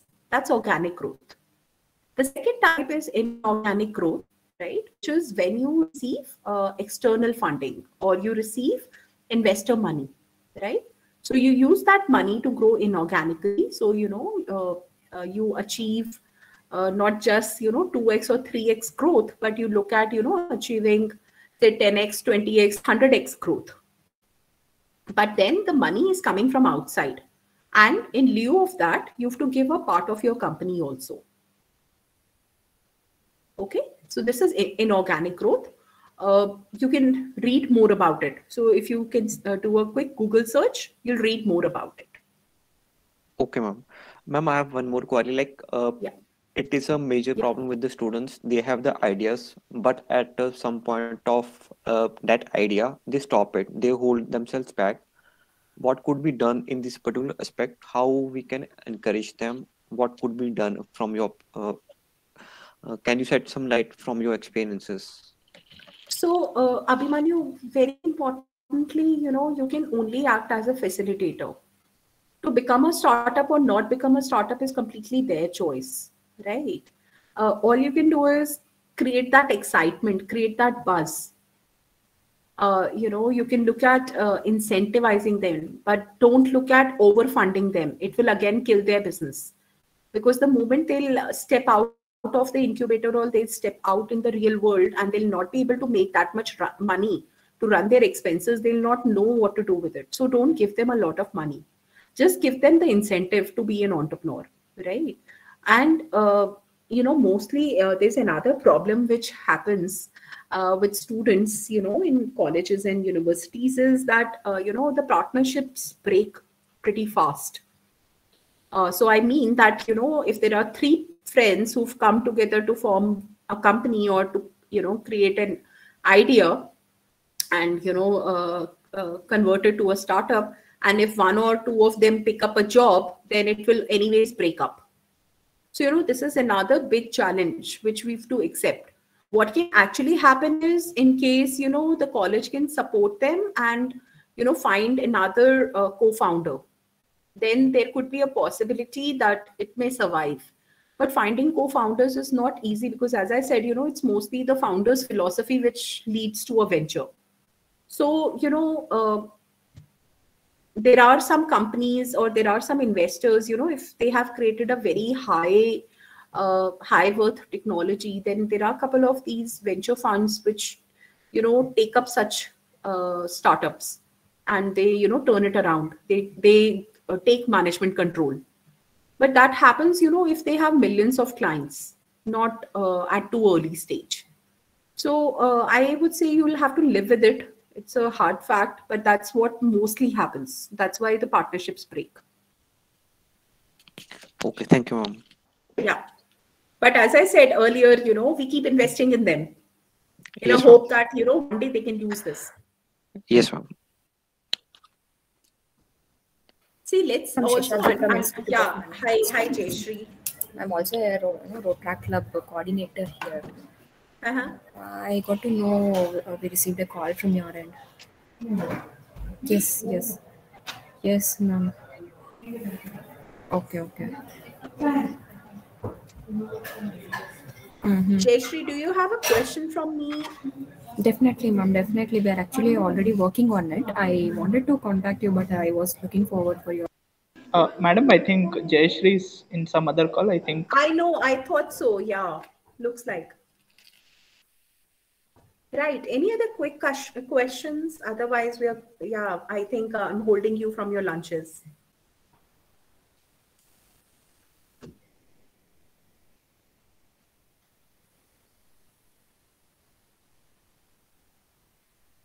Right. I think host, we can close the session if that's okay. Yes, ma'am. Thank you, ma'am, for the valuable information. It's an immense, immense pleasure to have you on the EDP. That concludes the morning session, and I request all the participants to join the third session at 2.30 in the afternoon. Thank you. Right. Thank you so much, everyone.